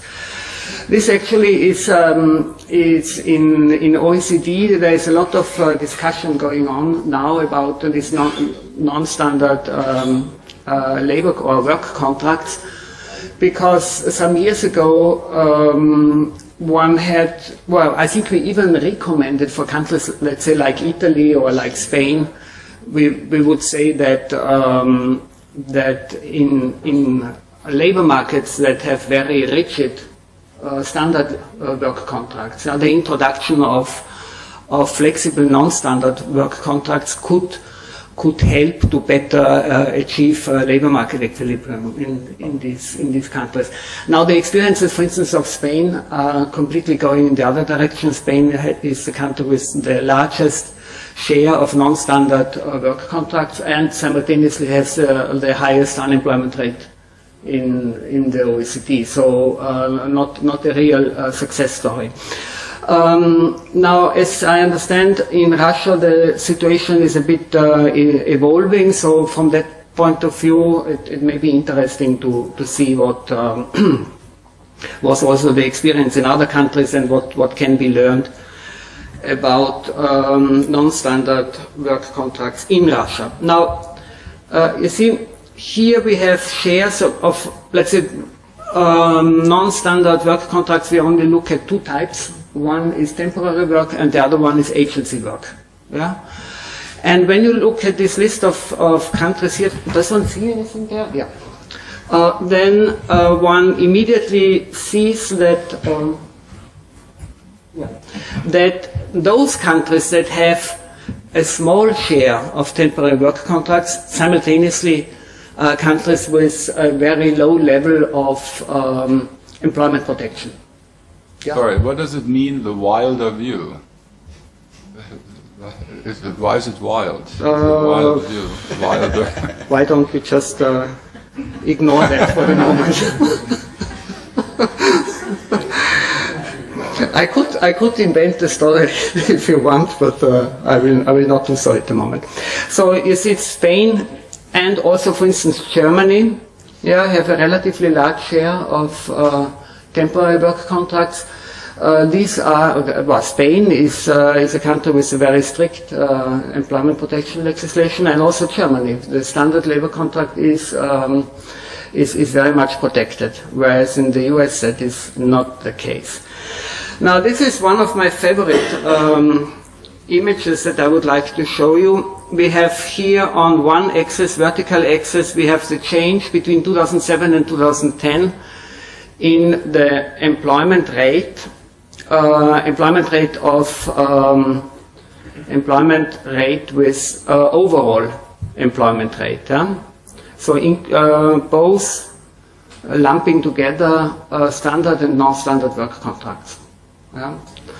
And uh, what we seem to see here is a negative relationship between the overall employment rate and uh, the, the change in the overall employment rate and the change in the non-standard employment rate. Yeah, which means that, let's say, if we take here Germany, Germany has in, over, over these years increased employment and decreased non-standard work contracts. Yeah? And on the other side, Ireland yeah, has uh, increased the share of non-standard employment and decreased uh, the share of um, overall employment. Yeah. So um, I remember last year's IZA workshop, uh, there was Hazans giving a paper on, uh, uh, you know, informal employment, non-contracts, and so on. And he was saying that in Ireland, uh, you don't have a written. Most people don't have a written contract, even if they work full time. So, so I wonder uh, why Ireland is so high. Whether it's it's a statistical artifact. Or, Um, or not. Well, uh, I only talk here about Ireland because it is sort of at the far right end of the uh, of this group. I can't say anything uh, about it specifically. I mean, what what we see here, let's say here we have Russia, yeah. Let's say Russia seems to be in this cloud, so it doesn't seem to.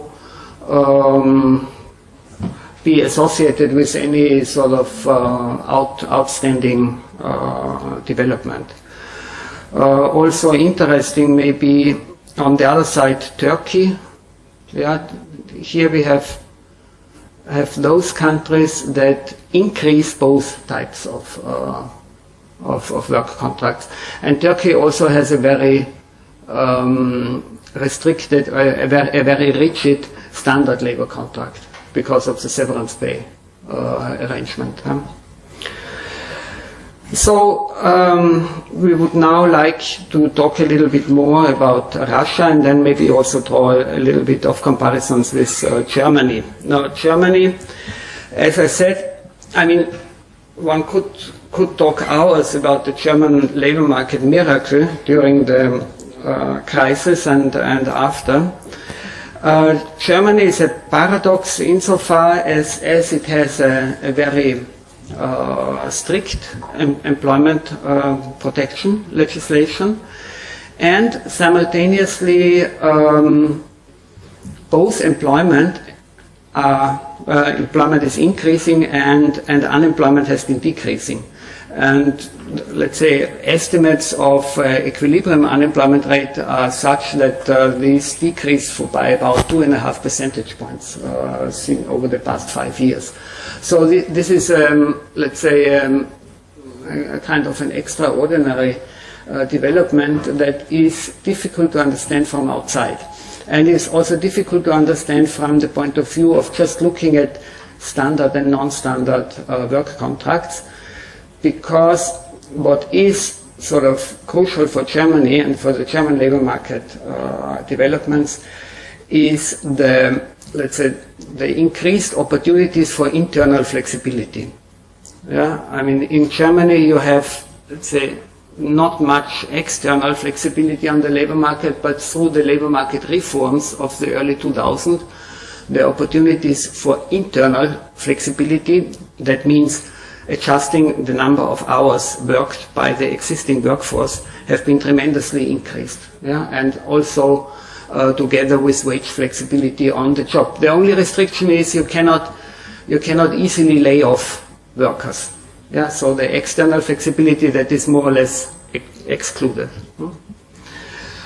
Um, and that has contributed to some increase, not dramatic, but to some increase of temporary work contracts.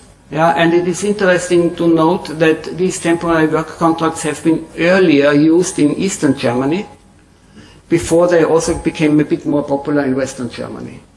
Yeah. Uh, this could be explained with the fact that in Eastern Germany, from the beginning, let's say the the labor cost uh, relationships were were more unfavorable. than in Western Germany, where you had a, a kind of an established uh, um, wage productivity relationship uh, that um, that hasn't hasn't been challenged by I don't know either trade unions or external shocks or anything of that sort. Whereas the immediate uh, introduction of the of, of, of, of German of West German wage levels in Eastern Germany have put uh, companies there under under much bigger wage cost pressure and therefore that, that would be my explanation why, why these contracts have been earlier introduced in Eastern Germany. Uh, both in Eastern Germany and in Western Germany, agency work uh, is not very is not very popular. Yeah? Okay, so what are characteristics about the discussion on non-standard uh, work contracts in Russia? Um, social partners have very diverging uh, opinions. Sort of the Russian Union of Industrialists is in favor of such um, um, increased flexibility in, in terms of uh, work contracts. Uh, while the trade unions uh, don't like that. Yeah? Trade unions uh, argue against it. Um, agency work is not regulated in the Russian labor law yeah, which is also uh, an issue that can create uh, complications. And, and, and therefore the, the, the question is uh, where Russia should sort of move in, in the future, yeah? either introducing the opportuni opportunities of, um, of work agencies that allocate workers to other uh, workplaces, uh, or, um, or ban that. Now, uh, in, in the OECD, the discussion in this respect is going in a direction that, um, that, that, that, more favors, let's say, a more flexible standard work contract, yeah, but does not impose undue restrictions uh, on, on agency work in the sense that legitimate uh, opportunities for supplying and demanding agency work should not be restricted. Yeah? But on the other hand, what one doesn't want to see is the substitution of standard work contracts by non-standard work contracts, because the experience is that that companies tend to invest less human capital on workers that they employ with uh, non-standard work contracts for evident reasons. I mean, if you know that you hire someone for three months, then you will not invest a huge amount of skill improving uh, measures into, into that person or if the person maybe um, on, on its, its next uh, job will work for your competitor, then you also don't want to invest a lot of um, a lot of money in the increase of the productivity of that of that person. Uh, however, in, in Russia, what, what is observed is that there is an increase in temporary work contracts. And um, there seems, seems to be a growing uh, dynamism in, uh, among work agencies, and not much is uh, known about it. So what we want to do is we want to understand what kind of companies, yeah, what's what type of, com of companies are using non-standard work contracts. Okay, I will not bother you with the definition of um, the uh, temporary and uh, non-standard uh, work contracts. Um, as I said, we only use two of them. Um, in the literature, there are, let's say, three groups of reasons why companies uh, want to deviate from the standard work contract. And um, basically, uh, these three uh, groups are one is uh, demand uncertainty, and the, the, company doesn't know exactly uh, how much it will have to produce at which time, and therefore it needs to uh, adjust um, its uh, its workforce. Um, and adjusting the the standard the, the, workforce that is employed with the standard work contract um, in, involves additional hiring and firing costs. Yeah, and, and that, that is an additional uh, cost argument. Yeah. Um, then uh, every workforce um, is, um, is, is, is, is having, let's say, temporary absence uh, phen- phenomena um, due to sickness or just uh, annual leaves or, or maternity leaves, which may be the more important one. And, and replacing that with someone on a standard work contract, if the standard work contract is let's say rigid, yeah, then that, that becomes again costly for the, for the company. And then um, there is one, one group of, uh, let's say, reasons why companies would want non-standard work contracts, and that is that they use these non-standard work contracts as an opportunity to prolong the probation period. Yeah? I mean, uh, let's say, uh, employment contracts of university professors might might be the best example for, for that. You, let's say you have a, a standard probation period of let's say six, six to eight years, yeah? and this, but this is not, it is not um, uh, termed as a probation period, but you are employed on, on, on a temporary work contract during, during that time. yeah? And uh, so, okay. Um, we have looked at, we use um, a company uh, survey for two years uh, where we have more, as I said, it is uh, work in progress. So we have two more years uh, available, so therefore we could also be thinking about uh, running panel regressions or things of that sort we which we have not yet done. Now this company survey is representative for Russia as a whole, but not for regions. So we, we cannot make any any statement about uh, sort of regional differentiation. But we have um, representative information about uh, six uh, sectors, extraction companies, manufacturing, construction, transport, and uh, trade and finance. And um, the, this survey is also representative across size groups.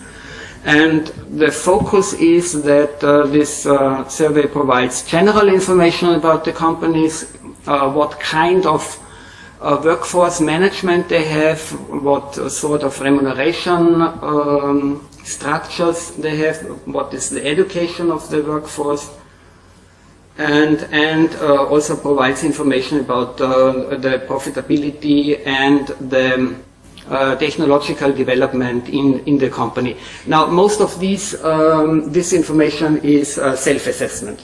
Uh, I, I, mean, the company says we are um, sort of innovative company. Uh, so if they say so, then we believe it.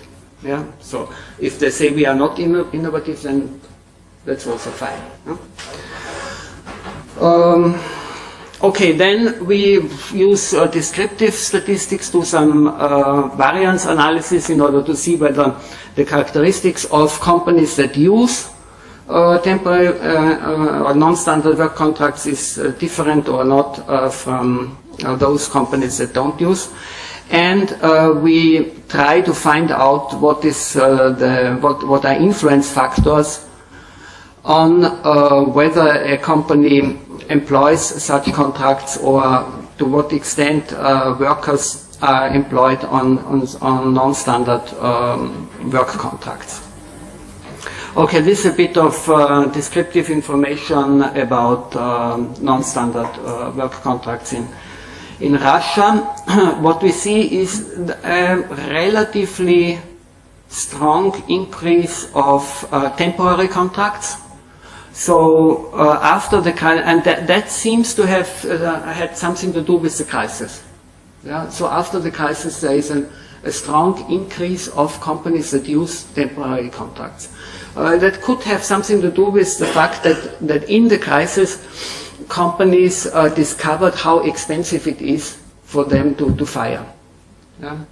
And, and here I have, or we have the feeling that um, contrary to the previous crisis, I mean the banking crisis in the uh, end of uh, end of the 1990s, at, in, in that crisis, uh, let's say labor laws were not really enforced. So I mean, companies fired uh, with, with, without or just not paid wages or things of that sort, and that that kind of progress in the rule of law, yeah, seems to have reminded yeah, uh, companies that it is costly if they hire and fire, uh, because they, uh, uh, while let's say agency work, okay, is uh, not very important yet, but has shows a strong increases. This is yes. So the previous one, yeah. th- th- this is the same thing now in term um, separated according to um, sectors. Uh, and here we see that, um, let's say, uh, temporary work contracts are, are mainly used in in mining, manufacturing, and construction. Well, this is also that's also something that we know from other countries. Okay, the, the same same information in different graphical terms. Now our probit um, estimates show that, let's say this one we should have put last because we cannot actually explain that uh, why the the share of women yeah, in the company has a strong negative influence on the use of um, non-standard work contracts. So that is uh, that is something. So if any if anyone has a, a, a good and brilliant explanation for that, then uh, we will send send you a, uh, a gift in exchange. Um, another strong result is that um, that fixed term contracts are rather used by large companies, yeah, um, by companies with, um, let's say, what one could call a modern um, organizational structure. No, sorry, by no, the other way around. So they are not used in such companies, and they are also not used by companies uh, with a, a high technological level of production. Yeah. So that seems to, to, to point in a direction where one would say that it is more companies that, um, that, that, that don't have, let's say, a high skill requirement for their employees that are using temporary work contracts, which in, in a way makes sense. Yeah, so if you have, if you need very, very firm specific skills, yeah, then you, you don't really you, you cannot really employ people on, on temporary work contracts for, let's say, your core production activities. Of course, things on the margin you always can do like this. Yeah? Okay, so I try to stay within my time limit, and um, I think we are summarizing our results uh, already. So, uh, temporary work contracts are more likely in companies with, uh, that are changing their organizational structure. It's also one question whether uh, that is answered by the, by the company. Uh, that uh, are in a process of modernization and um, also uh, use outsourcing in, in general. Yeah? That um, characterize themselves as in innovative, that are big, and then surprisingly enough, that, that are organized by a trade union. Yeah? Now this, this in the literature is explained by the fact that the trade unions uh, that are, well, if you have a trade union system that is decentralized, yeah, then uh, a trade union that, uh, that, let's say, organizes the workforce in a big company, yeah, is not hostile against dualization of the workforce because its members are sort of the core members and everything that, that let's say, increases the opportunities and the position of the core work, workforce uh, will be accepted by the by the trade union. And the let's say the marginal workforce, especially if it is agency work, yeah, will will will not be represented by the trade union in this company. And and uh, things of that sort, observing things of that sort, I think. should uh, alert also the policymaker that it is important uh, to regulate yeah, to, to, to, to clearly regulate um, the scope for non-standard work contracts, yeah, and maybe also consider the regulation of the standard work contract because it is clear, as you have seen it at- in the, in the first uh, figure already, that uh, non-standard work contracts are only, uh, let's say, uh, used if the standard work contract is considered too, too rigid. Hmm? Okay, from sectors, um, mainly manufacturing is using uh, using temporary work uh, contracts. Um, and such, um, yeah, as said, the, mo- uh, the most significant result is that uh, that we have is that when the share of women in the company is high, then um, this company is less likely to employ um, workers on temporary work contracts, which let's say is um, is, is, is, is counterintuitive because we know that um, that that women have um, let's say a, a more volatile um labor force participation due to uh, well if they don't have children then of course that's something different yeah? okay so mm, we, we don't have a, a really good explanation for for that yeah so this here is the same thing for agency work contracts uh, where um, especially profitability plays a role and also uh, let, this here, let's say the, com- the company in the survey also asked whether it is providing uh, its product or services to CIS markets. yeah. And, and I think this is an indicator for the volatility of the output of the, of the company, yeah, because let's say that is less, less uh, stable, uh, less stable market.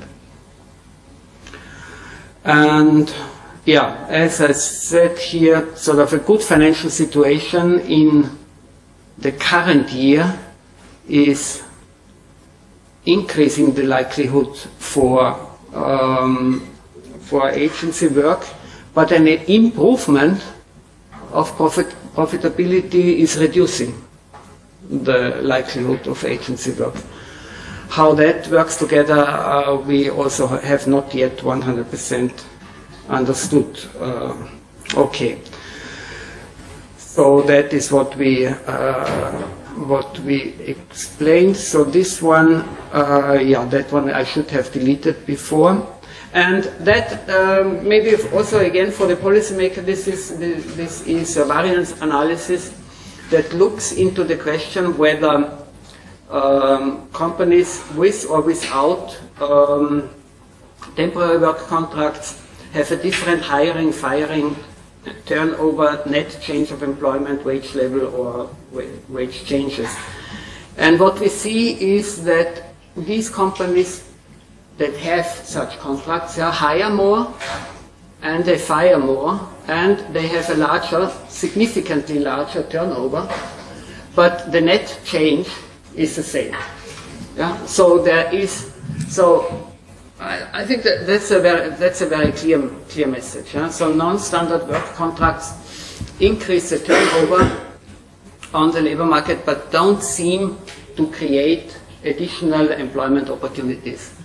And that is going into a direction saying that, um, yeah, that non-standard work contracts are replacing standard work contracts that are considered to, to be too rigid for the purpose of the of fulfilling the um, the, the, the, the, the workforce needs of the of, of the company.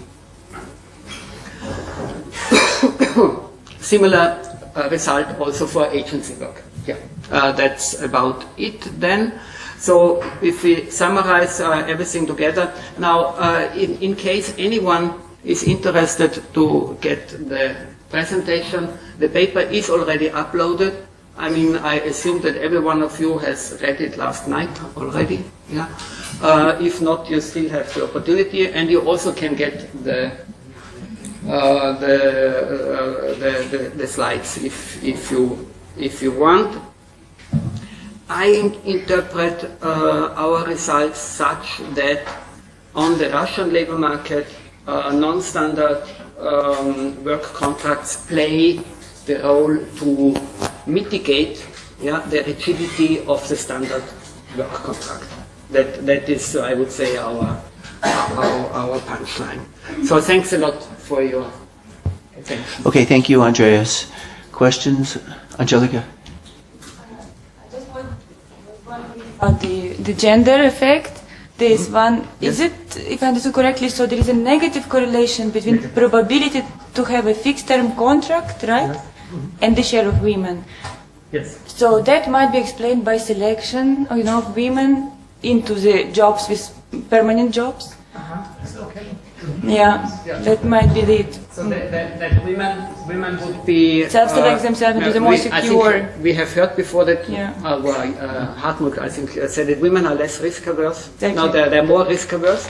They are more risk averse than men as well. Therefore, yeah. they choose um, The job security. uh, jobs that uh, that that are less uh, volatile, yeah, and or job uh, uh, opportunities. Yeah, I think that's a, that's a very good uh, explanation. Yeah. Thank thank you very much. So you, you can select any OECD publication that I, I can. Wow, that's generous. Okay. uh, I'm not doing anything. okay, maybe one more question.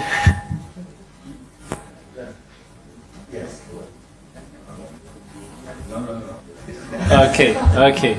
Uh, I'm wondering how many, how, how few firms use uh, short-term contracts, because the Russian labor code uh, it says that uh, short-term contracts can be used in some particular cases, and one of these cases is when women are on maternity leave, and maternity leave is up to three years, so they can be replaced on temporary basis.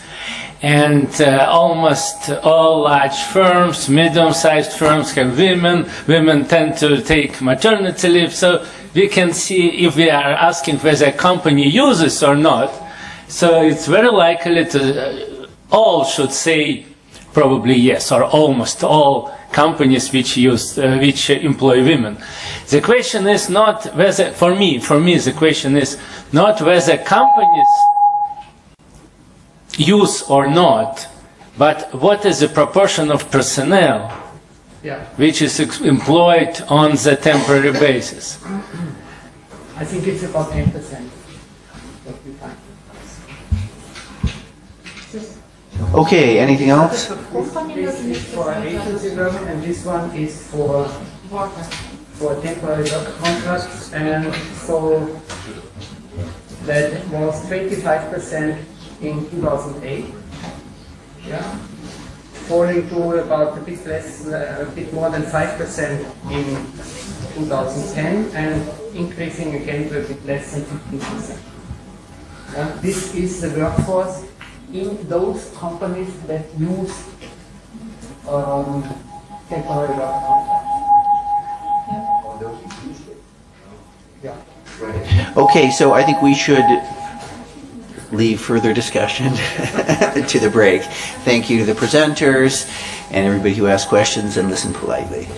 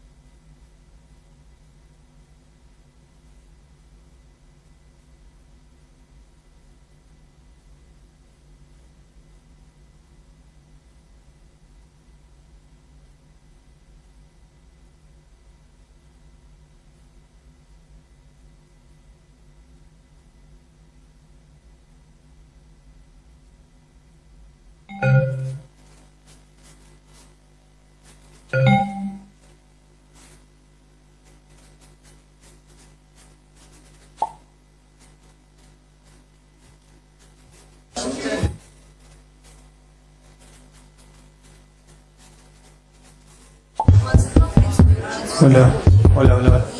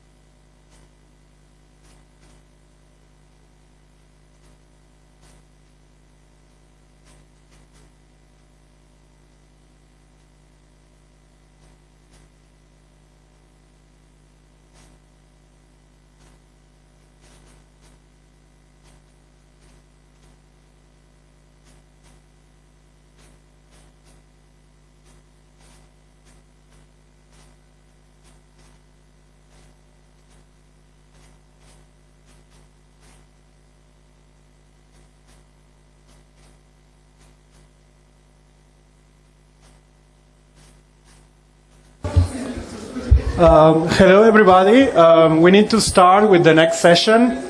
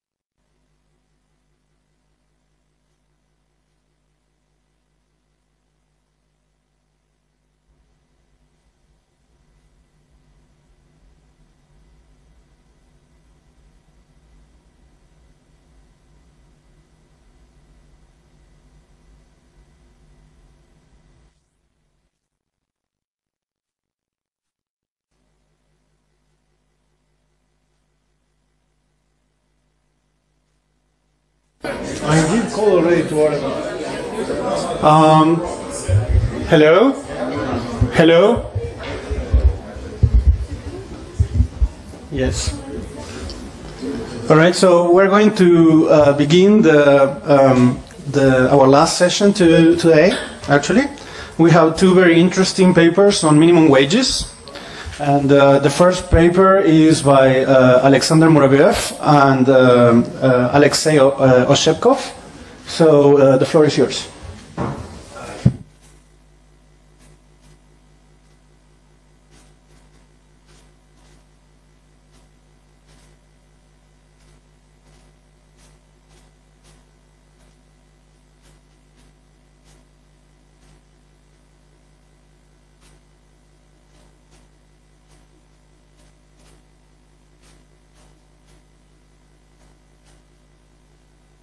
So I would be happy to receive your feedback and also some comments and suggestions. This means that I- we are pretty much open to. Uh, okay.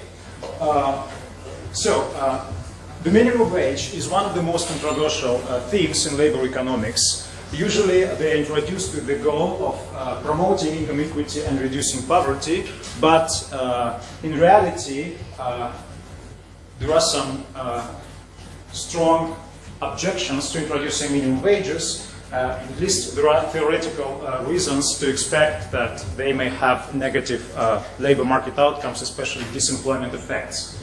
And in fact, if we look at the theoretical literature, uh, well, we uh, immediately see two competing hypotheses, at least two. Uh, the standard labor supply and demand model suggests that minimum wages raise unemployment, especially among low-skilled workers. On the other hand, there are monopsony models which uh, show that uh, introducing minimum wages uh, may not only increase wages of the low earners, but also uh, result in an increase in total employment. So uh, theory is pretty uh, much ambiguous about the effect of minimum wages, and that's why there is a great deal of empirical literature trying to evaluate the effect of minimum wages on employment and distribution of wages, primarily those two areas. Uh, so if we try to look at the uh, uh, empirical literature on minimum wages, uh, well, originally uh, the literature comes from, uh, from the developed world, and especially from the United States, given the great availability of data. Uh, the evidence from developed countries usually, usually suggests uh, no disemployment effect of minimum wages. However, uh, the evidence is slightly different for uh, vulnerable groups uh, in the labor market, especially for young workers and to some extent for women. Evidence here is more mixed. I here put I, here I put a quotation from Neumark and Wascher, who uh, recently uh, completed a huge, a long survey of uh, of the empirical literature on minimum wages, and their point is that uh, when they speak about the elasticity of teenage employment with respect to minimum wages, they note that even limiting the sample of studies to those focused on the effects of the minimum wage on teenagers in a particular country, the United States, the range of studies comprising the new minimum wage research extends from well below minus one to well above zero. So this is about elasticity, right? So we have both negative and positive uh, effects of uh, minimum wage on the employment of young workers. So this is the reference to this uh, excellent uh, book, actually. Uh, in the developing countries, in the developing world, there is an additional focus to this in this literature, uh, focus on informal employment. Uh, the literature usually starts with a two-sector model of the labor market, and uh, it's assumed that the formal sector is affected by, by minimum wages while the informal sector is sort of free of regulations. Essentially, they don't apply or are not enforced in, uh, in the formal uh, sector of the economy. So what is the evidence from this uh, strand of literature focusing on the developing countries? Well, uh, some studies suggest that introducing or increasing minimum wages uh, may lead to further informalization of jobs. Uh, there are papers, uh, relevant papers find, with findings for Indonesia and India, although uh, as uh, in studies focusing on the developed countries, the aggregate employment effects are less clear cut. Usually they are absent. Uh, there are interesting findings with respect to the effect of minimum wages on, uh, uh, on wages per se and wages in the two sectors of the economy. And uh, one notable uh, finding is that uh, minimum wages hikes result in an increase of wages in the informal sector. So this is contrary to our expectations when we think about this two-sector economy. Uh, and this result is known as lighthouse effect. Uh, it's widely documented, but it's it runs contrary to the two-sector model of, of the economy. Uh, now, so what, uh, what are the research questions in our paper or in our research project? So basically we are raising we are addressing an old question of whether minimum wages are associated with adverse effects on employment. And in particular, we look at the uh, negative effects on overall employment and employment among vulnerable groups, such as uh, young workers, and uh, sort of addressing the issues which are studied in this um, literature focusing on developing countries and emerging economies. We also look at the uh, effect of minimum wages on informal employment. Uh, so, uh, do minimum wage hikes result in the expansion of informal employment in Russia? So we think we have uh, several contributions to the literature. Uh, we exploit the unique institutional setting and new regional level data from the emerging economy of Russia. And uh, what is uh, great, what is unique to this uh, data set and to this setup is that we have a huge variation in labor market outcomes, uh, as well as a variation in minimum wages across the regions, which are 83 in our data set. Uh, we have the data spanning uh, over 10 years, well, actually exactly 10 years now, uh, with considerable heterogeneity, numerous hikes of minimum wages, and also uh, the uh, effect of or uh, the event of decentralization of minimum wages from the federal level to uh, the regional level. Uh, we focus on informal employment, and what is important here is that informal employment is rarely analyzed in the context of developed countries or high and middle income, upper middle income countries, uh, although, as noted by Friedrich Schneider, shadow economies are a complex phenomenon present to a large extent in all types of economies, developing, transition, and highly developed.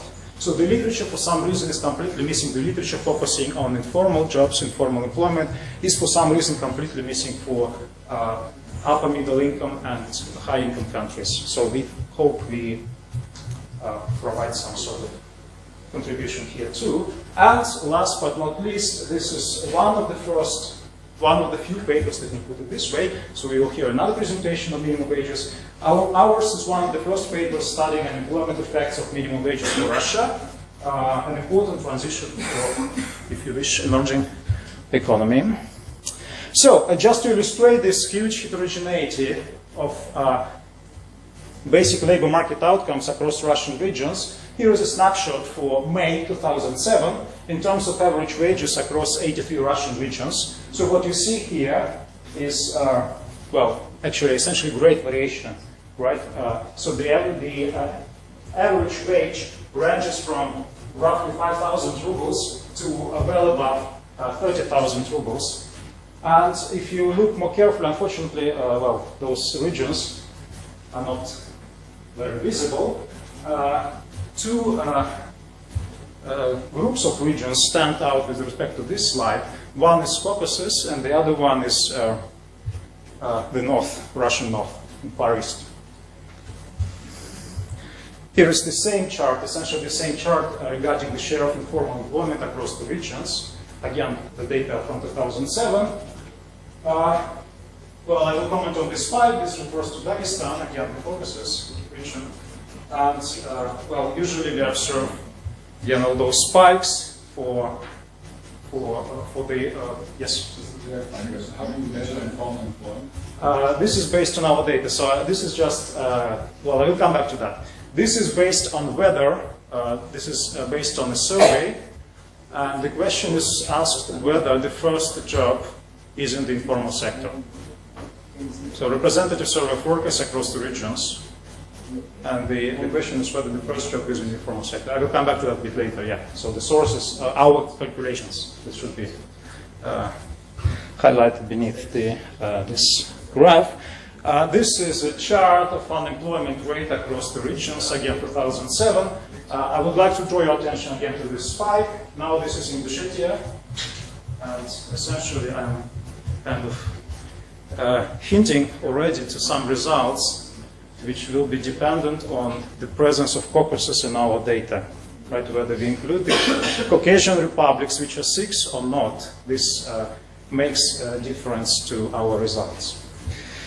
Uh, but uh, even without uh, those Caucasian republics, uh, we do observe a huge variation in uh, essential labor market variables. Now, a little bit about the institutional background of minimum wages in Russia. Uh, actually, uh, contrary to what many people may think, minimum wages is not, new, is not new in independent Russia because they existed also uh, during the uh, Soviet Union period. Uh, and the Kaitz ratio, which is the ratio of minimum to average wage, at that time was about 35 to 40 percent. Right? Uh, then, uh, in the 90s, there was a gradual erosion of minimum wages in the country, so the Kaitz index uh, went down to less than 10 percent, and uh, starting with uh, 2000 2001, we have seen a number of substantial hikes in minimum wages, uh, so that by the end of the last decade, the Kaitz ratio was close to 25%, which is roughly at the bottom of the distribution uh, for, for the OECD countries. Uh, another important point here is that in 2007, the government implemented a decentralization of minimum wages, which uh, until that period were uh, established at the federal level. Starting from 2007, uh, the federal government establishes just a floor for minimum wages, but the regions are free to uh, increase this uh, sort of floor if they want so, but they don't have the right to decrease it, for sure. Um,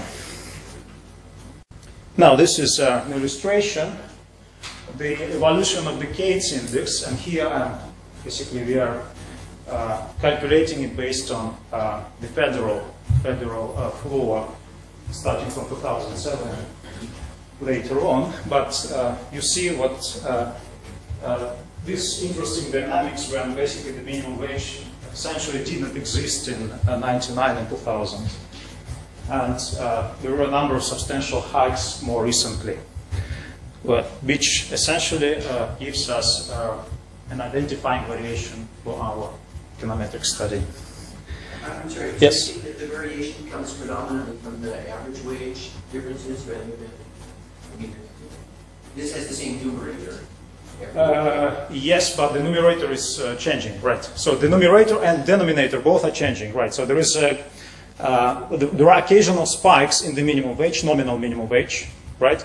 And there is a gradual erosion of uh, of the Kaitz ratio, so to speak, because of the increase in the in the denominator, right? Because because the nominal average wage is increasing. So you have two sources essentially. You're right. So one is uh, increases by uh, by by law, and the other thing is uh, change in the denominator, in the average wage. Yes. So we, uh, in principle, uh, okay, so I will come back to that later. Uh, so, uh, our data sources, uh, well, data on minimum wages are relatively easy to collect until uh, September 2007, when this uh, decentralization was implemented. Uh, the data can be collected from essentially federal laws, and until the- September 2007, uh, only one minimum wage existed for the whole country, except for northern wage coefficients. That's uh, an extra complication here. The northern wage coefficients applied uh, to the entire region in the north or in the far east, or to some parts of those regions. Uh, in all such cases, uh, we adjust federal minimum wages accordingly. Basically, we weight uh, the uh, minimum wage by the proportion of population affected by those uh, wage coefficients in each, in each region. Uh, from 2007 on, we rely on uh, a unique data source on regional minimum wages contained in the monitoring of minimum wages by the Federation of Trade Unions of Russia. Uh, it has been conducted six times between 2007 and 2010. Uh, of course, uh, well, this means a six-month span, so we carefully investigated all periods not covered by, uh, by this survey, and basically uh, uh, found all missing values uh, using databases of regional legislation. So that implied some uh, manual work and search in the internet and databases. So this is about northern wage coefficients. So the black color refers to regions where all workers or the entire population is affected by regional wage coefficients. And a sort of gray uh, zone here are the regions where some parts of the territories, usually northern, northern parts of the regions, population living in those parts uh, is affected by uh, wage coefficients. So as I said, we have adjusted uh, our minimum wage indicator accordingly, basically by weighting by uh, the fraction of population affected.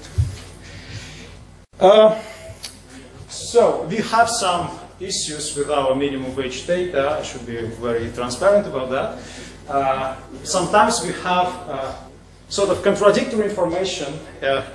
These are just few cases, but still, uh, this in particular refers to the cases of retrospective enactment of regional minimum wages. So sometimes a law, a regional law is passed in February, but the minimum wage is effective as of from January.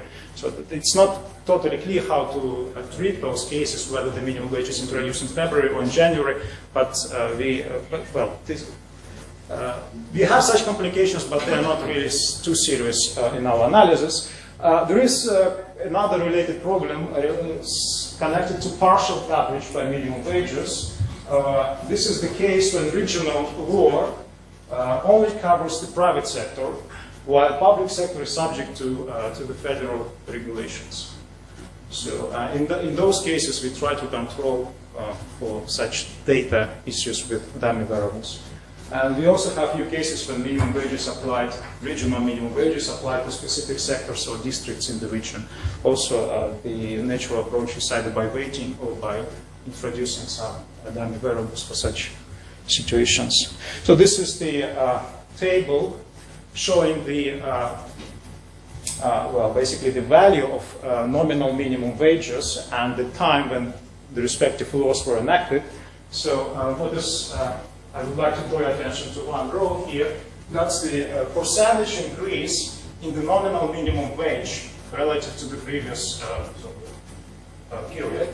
And uh, if you look at those numbers, uh, we definitely see two more substantial increases in, in federal minimum wage. One was in September 2007, 109%, and the other one in January 2009, 88% increase in the nominal minimum wage. That's quite, quite substantial. So uh, the bottom line is that we have a great deal of our identifying variation uh, in, uh, in the period from 2007 to 2010. Uh, this is a quarterly dynamics of decades index. Uh, we have uh, the line for Russia for the whole country on average, and then we have well the dynamics in the region with the highest Kaitz is here, and also the minimum, right? So the minimum is uh, depicted here. Again, as you see, the, uh, the largest spikes occurred in 2007 and also in 2009. So this is the, uh, well, this is the variation which in fact drives our results. And uh, up to this period, we do observe some substantial hikes in nominal minimum wages and changes in the Kaitz ratio, but they are not really uh, as dramatic as uh, uh, changes in 2007-2009. So data on labor market outcomes and wages, we have two uh, essential sources for information. Population Employment Survey conducted by Rosstat uh, on February, May, August, and November each year, so it's quarterly data. Access to this data is restricted and available from Rosstat through Center for Labor Market Studies. Uh, we have several hundred thousand observations in total, and all regions are covered. Uh, however, this population employment survey doesn't uh, contain wage data. Uh, well, this is similar to some other countries, like in the Netherlands, uh, there's no wage data either. Uh, so we uh, take information on average wages uh, from uh, the evolving socio-economic situation in Russia, which is freely available from Rosstat. So the data sources are pretty much reliable here in terms of labor market outcomes. So what are the dependent variables in our analysis? We focus on six uh, labor market outcomes. Uh, we first look at non-employment among the population in general. Then we look at unemployment, which is defined uh, using uh, ILO definition, nothing special. Then we have two indicators for informal employment. Uh, one is uh, reflects the share of the employed whose main job is, the, in, in the informal sector. So this is about the main job, right? Main job is in the informal sector. The second definition uh, takes into account the second job. Whether one of the two jobs, main or the second one, uh, is in the informal sector. So uh, this uh, indicator 2 suggests higher informality essentially than the previous one. So uh, we also have youth unemployment and youth non-employment as well labor market outcomes. So those are computed for uh, people aged from 15 to 24. Uh, now, the key independent variable, uh, similar to many studies based on US data and other uh, studies from other countries which explore uh, cross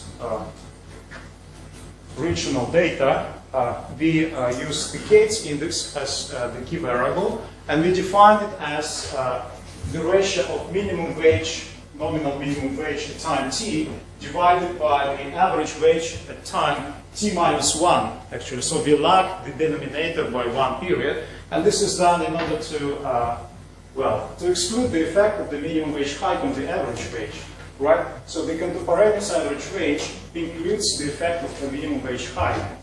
Low wage guys got fired, wages of low earners got adjusted. Uh, so we try to avoid this uh, situation when we essentially underestimate the Kaitz index because of that. But uh, our results are not really affected by uh, whether we use lag values or just contemporaneous average wages in the denominator. Now, so what we do, we follow the standard methodology used in studies of regional panel data, such as Neumark and Wascher, 92. This is Oops, yeah, 5 mm -hmm. That's the standard approach. So we regress labor market outcomes on the Kaitz index plus uh, time dummies, which are here, uh, annual dummies, and also monthly or quarterly dummies, just to control seasonality.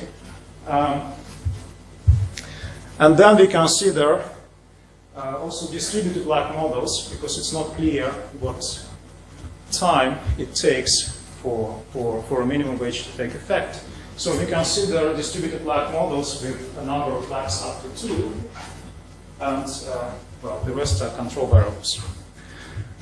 Uh, some robustness checks. Uh, basically, we do our main estimations for the entire period from 2001 to 2010, but then we split this into two sub-periods, 2001-2007, before the introduction, before the decentralization of minimum wages, and then from 2007 to 2010, uh, we also weigh our data using population numbers for each region because we have Moscow with uh, 12 million people and some uh, small subjects of the federation with less than 100,000 inhabitants. Nothing changes, uh, I should say immediately. But last but not least, we drop the north and also the Caucasus from our data and see what happens uh, to our results. So let me introduce descriptive statistics, well, there is nothing probably noteworthy except for the fact that we have some issues with data quality and coverage of minimum wages, but they are not very substantial. These are dummy variables. In 3% of cases, we have some issues with data quality in terms of uh, uh, retrospective enactment of minimum wages, and 6% of cases, we have issues with uh, coverage of minimum wages. This is not that much, and our results survive the exclusion of those observations. So, the results. Here, uh, I'm just showing the coefficient on the Kaitz uh, index, right? And uh, uh the results come in three lines for all regions, for, for the data set with excluded northern territories, and for the data set sub-subset of our data when we exclude Caucasus. Uh, so essentially, there is not much happening here, right? This is a specification without any lags. So now, uh, first lag is added, so Kaitz lag 1, in addition to the contemporaneous value. Again, uh, well, here actually we do observe something, uh, some effect on unemployment, something related to youth unemployment. Uh, the data are in percentages, so the Kaitz is measured in percentages, and uh, the uh, labor market outcomes are also me- measured in percentage points. So basically the coefficient means this one, uh, increasing the Kaitz ratio by one percentage point results in this percentage point increase in informality. So it's uh, 10% increase in, uh, yeah, in the Kaitz ratio result in 1.2% percentage point increase in uh, youth unemployment. Uh, but the results are not really very uh, stable, I would say, right? So depending on whether you include purposes or not, for example, I have here minus significant, here is something else. Uh, with two lags, we also have some indication that uh, uh, the Kaitz index affects informal employment and youth unemployment, but again, uh, we do have uh, some contradictory results across the panels. Uh, now, our results are considerably stronger when we look at the shorter period from 2007 to 2010. Here are the results. Uh, again, with no lags, we have some indication that uh, increasing the Kaitz ratio reduces non-employment, but this result doesn't survive the exclusion of the Caucasian republics from the data. And when we do that, actually, when we exclude the Caucasus, there is nothing. If you look at the contemporaneous Kaitz ratio. With just a single lag, I'm now commenting basically the results without the Caucasian republics because they, uh, they provide the cleanest picture. So again, the contemporaneous effect, nothing. But the first lag already shows uh, an important effect on informality defined in both ways, by the way, and also on youth unemployment. Uh, the general disemployment effect is nil, so nothing. Uh, non-employment is not affected. So now the same results with two lags. And actually they confirm uh, the previous picture. If you look at this uh, bottom panel of the table, there is nothing on, in terms of non-employment, no effect on, uh, no disemployment effect of minimum wages. Uh, here we have uh, an effect on informal employment, and uh, the effect is delivered by the lagged value of uh, the Kaitz index. The same is true for the second measure of informality, and we do observe some, uh, some effect on youth unemployment. So there is also something which is, uh, well, not really robust in terms of youth non-employment, but this is probably not, it's not worth commenting. So, uh, the conclusions. Uh, in our study, we find some evidence that, labor, uh, that minimum wages has a number of side effects in the Russian labor market. Minimum wage hikes lead to an increase in the share of workers employed in the informal sector. This is the strongest result of our analysis so far, and probably this is quite robust. It looks like we have tried thousands of specifications. This always shows up. Uh, minimum wage hikes are associated with increased youth unemployment. So the disemployment, general disemployment effect is missing, but we do document some disemployment effect for younger workers. Uh, the result is less robust than the, the one for informality. Uh, we find no convincing evidence of the effect of minimum wages on general non-employment or unemployment, and there is, uh, we also find a time lag between the enactment of new minimum wage regulations and labor market adjustment. In the case of Russia, it's about one quarter. Basically, our specifications with lag deliver the result that the first lag uh, drives the, the effect of uh, minimum wages on labor market outcomes. Thank you very much. Uh, thank you. Uh, any questions?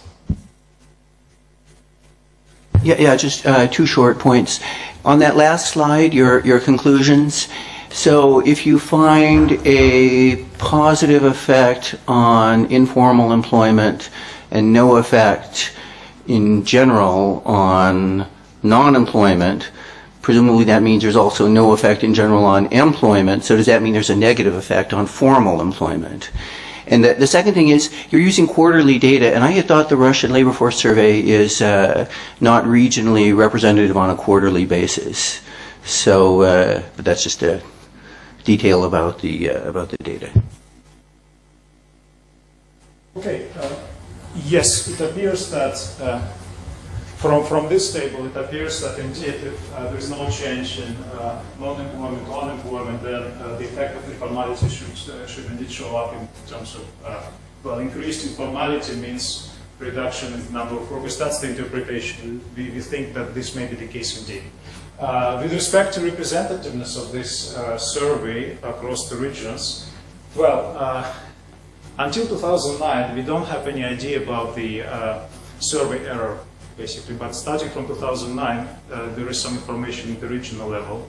Uh, and, well, Alexei may correct me. I, I, I, don't really remember the numbers. So we are sort of more or less confident that um, uh, uh, we don't have a big issue with, with, with the survey at the regional level because the number of observations is quite substantial across, uh, across all the regions. Yeah. But, but, the issue is whether they randomize across quarters when, when, yeah. when selecting uh, uh, households to interview within regions. I think from 2009, yes. Before that, uh, there is an issue with the data. So maybe we can also try to just leave 2009, 2010 and the data and see what happens. But uh, with respect to 2007, 2008, I'm afraid I can can guarantee anything here. Yes, but this is a, this is the nature of the service, so we have no control over that. So we either take it as it is, or basically we uh, drop the entire project, right? So, but we, we do believe, we hope at least that the data are uh, good enough to, to deliver some interesting results and conclusions. Yeah, I got two questions. One is the minimum wage, it's hourly or monthly? It's monthly. It's defined on a monthly basis, and it's roughly, at the moment, it's roughly 120 euros per month. Okay, so in your data, you have the full-time employee, also the part-time employee. Uh, that, that will make a difference if it's monthly. And the second question is, mm -hmm. okay, before the, the adjustment of the minimum wage, what percentage of people really below the minimum wage? How binding it is across different regions? Uh, yes, uh, with respect to part-time workers, we do have this information in the service where we are able to exclude part-time workers uh, from the main job at least. Uh, with respect to uh, the second question, well, this refers to this bite variable essentially, how, how, how much the minimum wage bites. we have calculated the data. It's roughly 5% of the population in, in recent cases of um, minimum wage hikes which are affected by by those uh, changes. So roughly that's the proportion of the workers basically in this lower table, the wage distribution who are affected each time. So, I mean, Excuse me? Big regional variation for the bite I mean, I mean for, for the bite. I mean, is any regional variation? Uh, variation yes, yes, yes. Uh, I don't have a, I don't have a slide here, but it's it's pretty substantial too, right? But for for the countries uh, on average, it's roughly five percent. But it's substantial across the regions too. The reservation. So you measure the Kaitz index for uh, young people on their wages or on the average wage? I mean, if you use uh, well, no, we, we, we, don't have this information. We only we can only compute the Kaitz ratio for the uh, population average average worker in the region because we don't have wage data in the survey, right? So we, we cannot really see basically what are the wages of young young workers. That's uh, uh, right. Uh,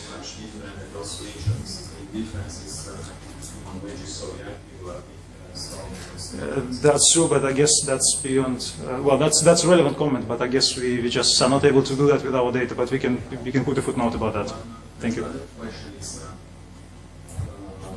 did you check whether your index is, is more or less is greater or, or smaller than, than found in other countries where the impact of minimum is, is, is found?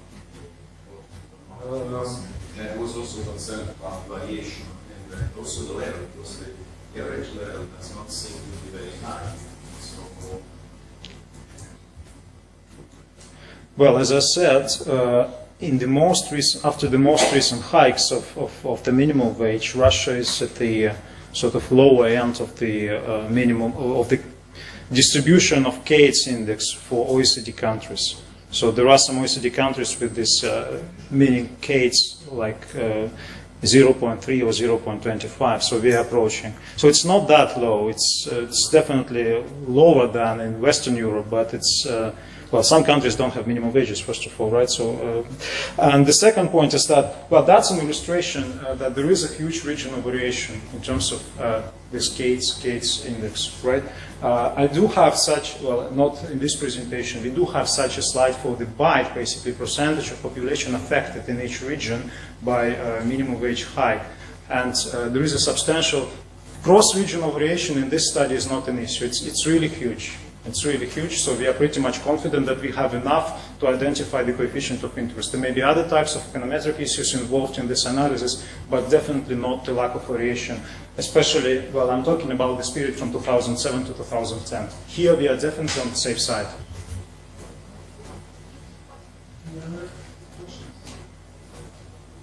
Okay, but thank you very much. Um, then we're moving to the um, next presentation.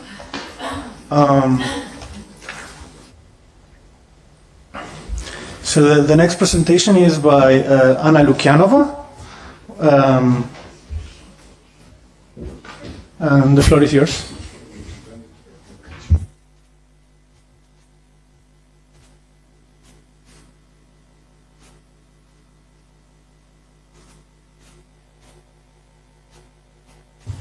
So my presentation is actually about the same topic, more or less, and it's actually connected to the topic uh, which was uh, to the to the research which was introduced by Alexander. And thanks to Alexander, I do not uh, need to talk much about the institutional structure because. Uh, Alexander actually talked much about it. Uh, but here is existing evidence. I don't want to repeat, but I would like to attract your attention to some existing evidence on transition countries, which was not covered by Alexander. So there are at least two papers uh, which uh, relate to my research. Is a paper by Ganguli and Terrell. Uh, they use data for the Ukraine. Uh, for, for Ukraine, and uh, they study also impacts of the minimum wage on the wage distribution.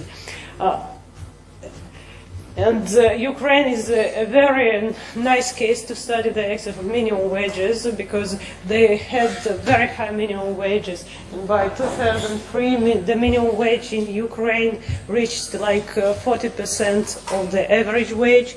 And uh, they show that uh, this minimum wage actually had huge effects on the uh,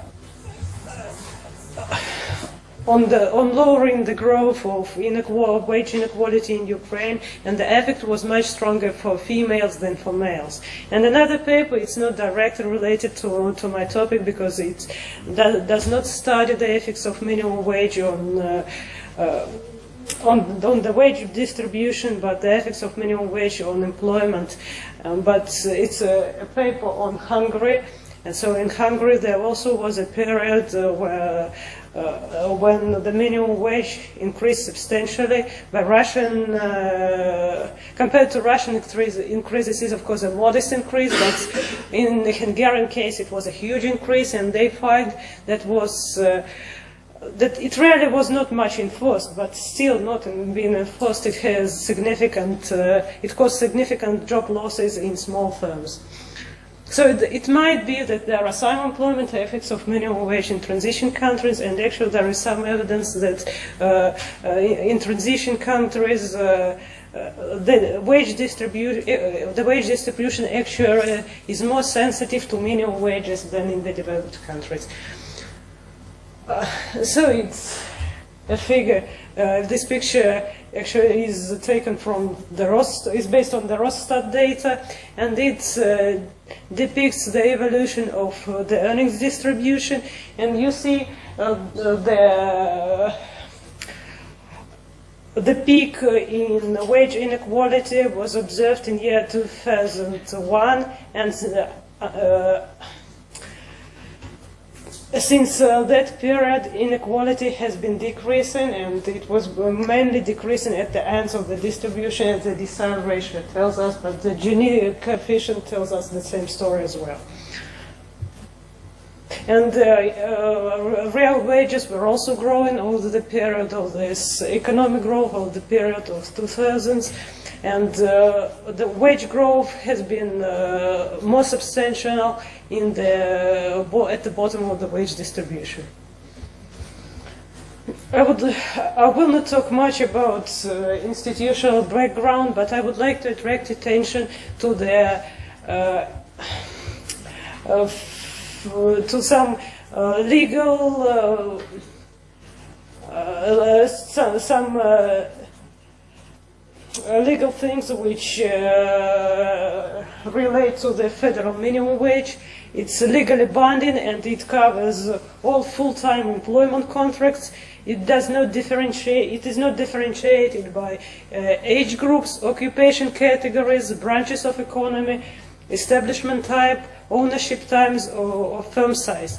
I would I will talk a bit about uh, the regional variation and changing in it, but actually uh, Alexander to- told much about that.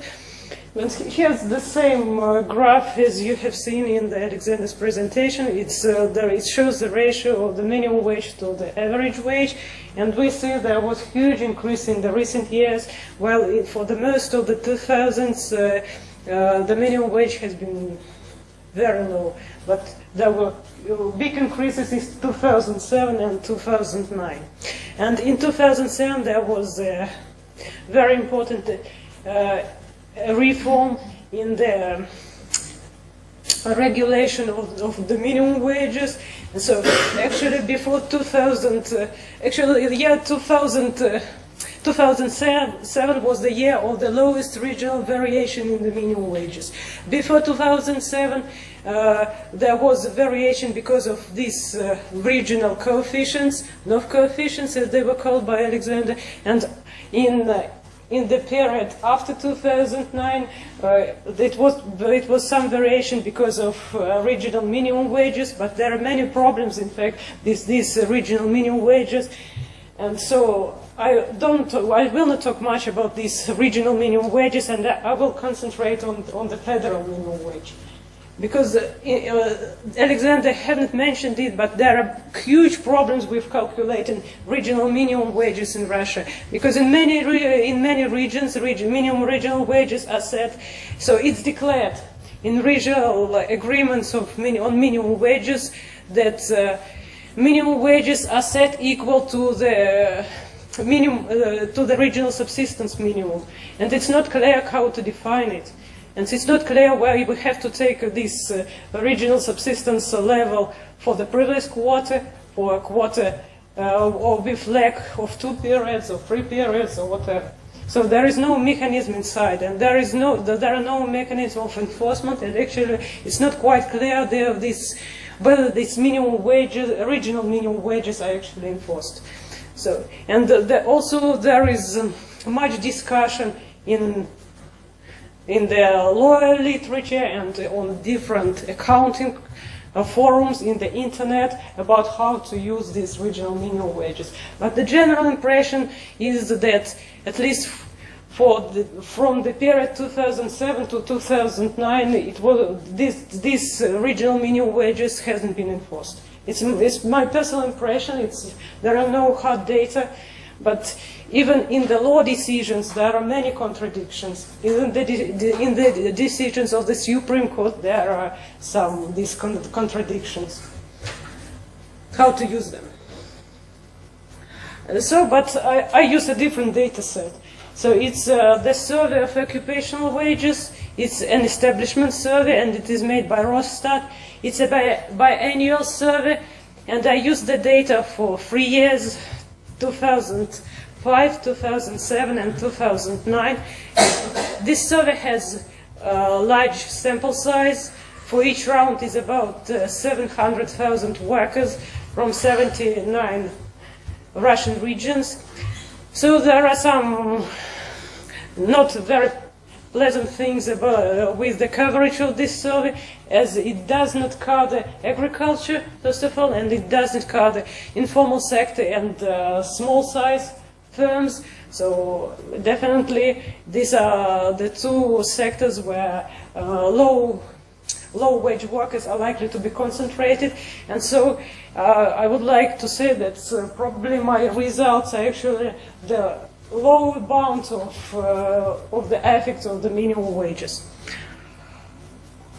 Oh, it's uh, so we in in this so we only have full-time workers. It's a nice thing because it's uh, not clear in Russia how to apply minimum wages to part-time workers because uh, the law it's absolutely uh, doesn't say any word about how to do that. So, but, and the Russian minimum wages are monthly minimum wages, but it's not clear how to apply them to part-time workers. Uh, and, uh, another nice thing is uh, that uh, the data set is not based on the responses of the workers, but data taken from the uh, records of establishment. So, uh, uh, so various response errors are likely to be very low. and uh, first there are some descriptive graphs. I would like first uh, to see whether the, the, effects we know from the data which is from other sources, and uh, are actually applicable to this uh, to this data uh, to this data set. And uh, the left uh, uh, graph it it applies to the year 2005, and the right graph it applies to year 2009. And in so one of the changes there was that before 2007, uh, minimum wages were applied to tariff wage, so it's the base wage with net of uh, various compensation and bonuses. And after 2007, uh, minimum wages were applied to the whole wage, which includes all bonuses, premiums, uh, allowances, and whatever, and all compensations. And so, so, so if we are, we are talking about uh, the abundance of the minimum wage. So for year 2005, we need to look at the lower line. So tariff wage, so percentage of the, uh, the workers for whom tariff wage is lower than the minimum wage. It was very low. It was uh, like 2% in, if we applied regional coefficients. And for year 2010, we have to look on the upper line. It's uh, the percentage of workers with wages uh, lower, lower than the minimum wage is like uh, 4%. If uh, we use the federal minimum wage and the like 6% if we apply regional minimum wages. And uh, we see that there is a big difference in the in two graphs. So in, in year 2009 we have this spike at the level of the minimum wage, federal minimum wage. So and uh, uh, for unskilled uh, for unskilled workers, the situation is even worse. Uh, in 2005, the minimum wage was equal to 20% of the uh, average unskilled wage, and in the year 2000, and by 2009, this ratio increased to 50%. We, uh, we see that actually fraction of those who are directly affected by the minimum wage is pretty low, like 5%. But if we look at the regional variation, we see that there is much difference, uh, much variation across the regions. Here I present an example of Republic of Dagestan, which is uh, a low-wage region, and we see that uh, uh, there was some effect of minimum wage on the distribution of the wages in 2005, but in 2009 the effect was really huge. So we, here we see the spike near the mean of the distribution. And like uh, 23% of workers were directly affected by the minimum wage in, in the formal segment, I mean in the segment of uh, medium size and large size firms. And so here are some data on the earnings inequality in our data set. Uh, and uh, this uh, blue line depicts the evolution of uh, nine, uh, the evolution of nine, nine to uh, so they were- de- depicts the evolution of inequality in the upper half of the uh, wage distribution, and uh, the red line depicts uh, the evolution of earnings inequality in the bottom part of the wage distribution. And we see that uh, inequality was hardly changing for the upper part, but there was a decline in inequality in the lower part of the distribution.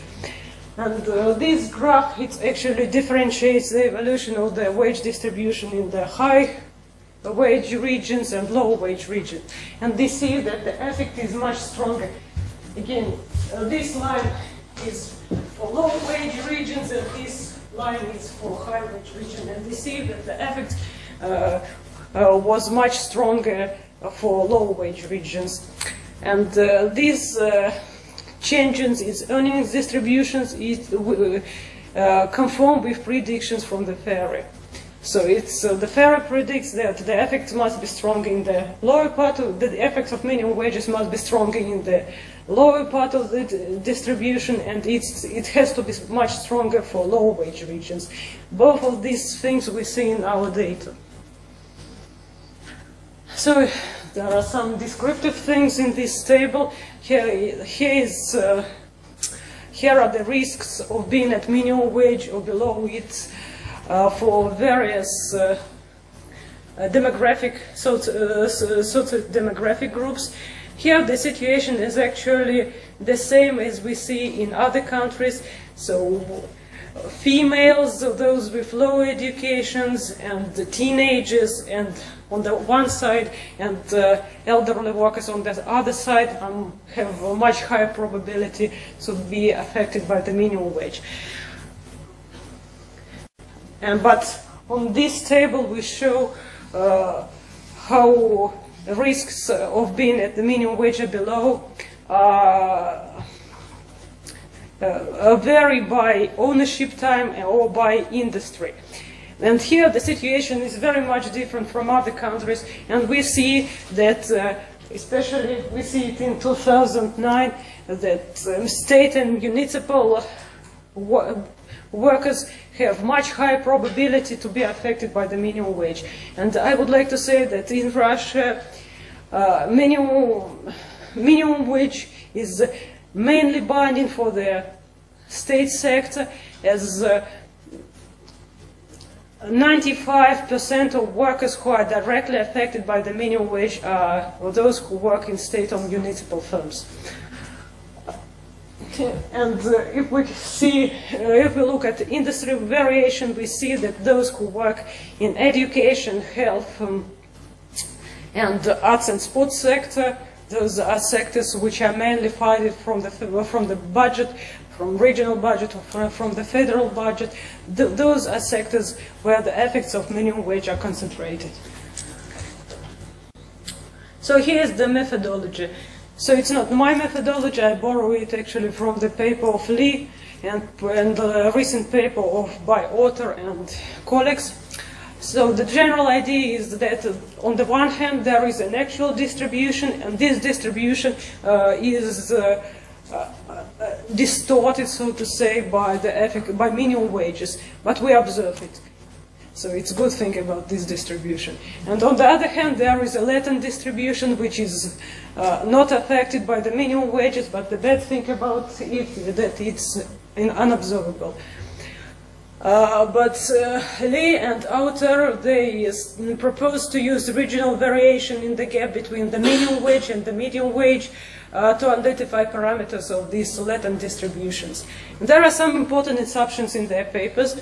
And the first assumption is, is that there are no effects of employment. From, from the data we have, they are not in fact uh, able to identify these effects on employment. And so there is an assumption that there are no effects. And this assumption is good. So it's. Uh, uh, uh, is actually the, uh, the thing we uh, see in papers on developed countries. So that there are very, at least, the, there are small effects on employment or no effects on employment. So I think that it's a plausible assumption, though I can be, uh, so there will be some, may, maybe some uh, disagreement about that, and disagreement from Alexander and his paper, but I believe that it's true. And uh, another thing about the method, important thing about the methodology is that we not only look at the direct effects of minimum wage, so the effects on those who are directly affected by the increase in minimum wage, and those wages, uh, workers whose wages actually were increased from uh, numbers which are below minimum wage to the level of the new minimum wage, but also we, uh, we are able to identify spillover effects. So effects on the high positions, uh, effects for those workers who, initially were uh, higher, whose wages were initially were higher than when the minimum wage, even the new minimum wage. Uh, so actually the methodology is quite simple. Uh, so the first line it uh, defines the measure on the bindingness as uh, following Lee we call it uh, effective minimum wage. It is defined as the difference between log minimum wage and the log median wage for each region and for each year. And uh, so, uh, so then uh, we define the relative uh, percentile of uh, wage distribution as, as uh, the difference in logs of certain percentile of the wage distribution and the medium, and then write this very simple regression. So we think that, that uh, uh, there is non-linear uh, relationship between the latent distribution, the, the, the uh, the, the distrib actual distribution of wages and each percentile of the uh, minimum wage of the wage distribution and the this effective minimum wage. And so that is why we include this effective minimum wage not only in uh, linear form but also in quadratic form. And so this first uh, this first thing in my equation is actually this uh, latent uh, percentile, uh, the relevant percentile of uh, latent wage distribution.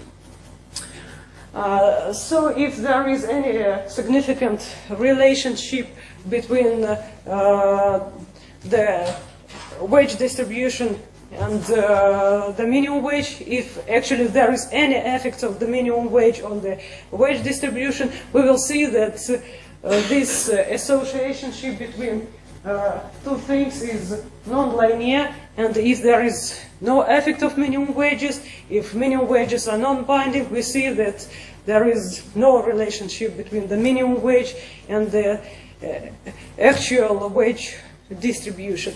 And uh, here is the graph which draws this relationship between uh, effective minimum wage is the horizontal line and the vertical line is uh, uh, uh, it's the difference between the 10th percentile and the medium. And they see that for 2005 and 2007, there is, uh, when uh, minimum wages were very low, this line is flat and there is no relationship. And uh, in 2009, we, we see this upward sloping segment uh, which tells us that there is relationship between the minimum wages and uh, uh, this 10th percentile of the wage distribution. And the, the conclusion can be that uh, uh, the minimum wages become binding for this period.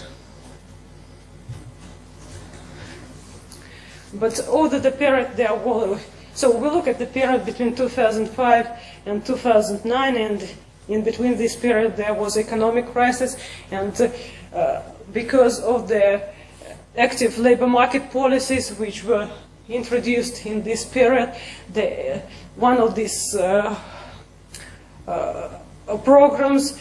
It, it uh, included uh,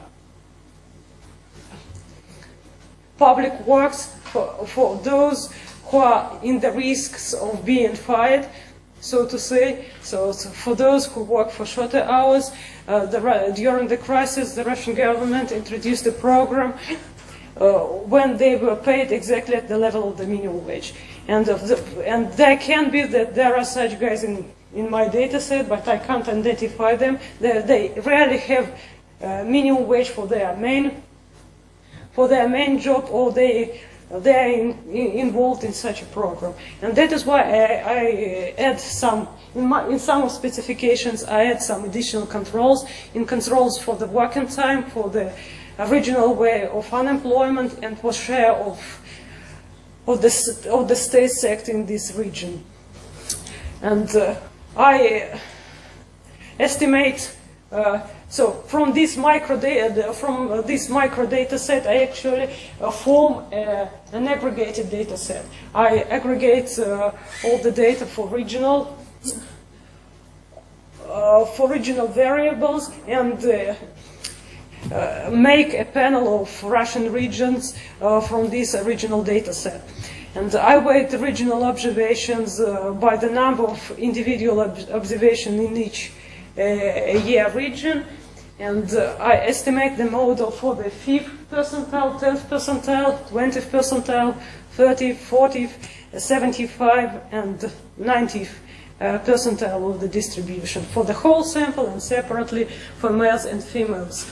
And so there can be some problems with estimating these models with ordinary least squares. The first uh, uh, problem is that uh, we have to use some regional fixed effects but we have only three years of the data and uh, within the variation within region uh, variation in this data set is quite small and that is why uh, it's difficult to estimate the model with fixed effects and that is why I introduced seven uh, variables for microregions. And so the second problem is uh, there can be a problem with a division bias problem as it is called and it arises from inclusion of the regional median wages in the left-hand side and right-hand side of the equation. And so there are some ways how to deal with it, and uh, I use the two ways. First, I uh, follow in order. I uh, model regional median wage as a function of time effects, region effects, and region-specific effects, and an error term, and uh, use uh, this uh, prediction from this model in the right hand side of my equation and uh, the second uh, specification check is that I use uh, effective minimum wage based on tariff wages. So, so in total, in total I estimate seven I estimate seven equations, specifications for each percentile of the wage distribution, but out of them I select one specification to, use, to be used in uh, simulations, and according to these uh, preferred specifications, uh, I see that the expected effect of the minimum wage is larger for low percentiles of the wage distribution and is largely insignificant for high percentiles of the wage distribution. And the effect is much stronger for females than for males.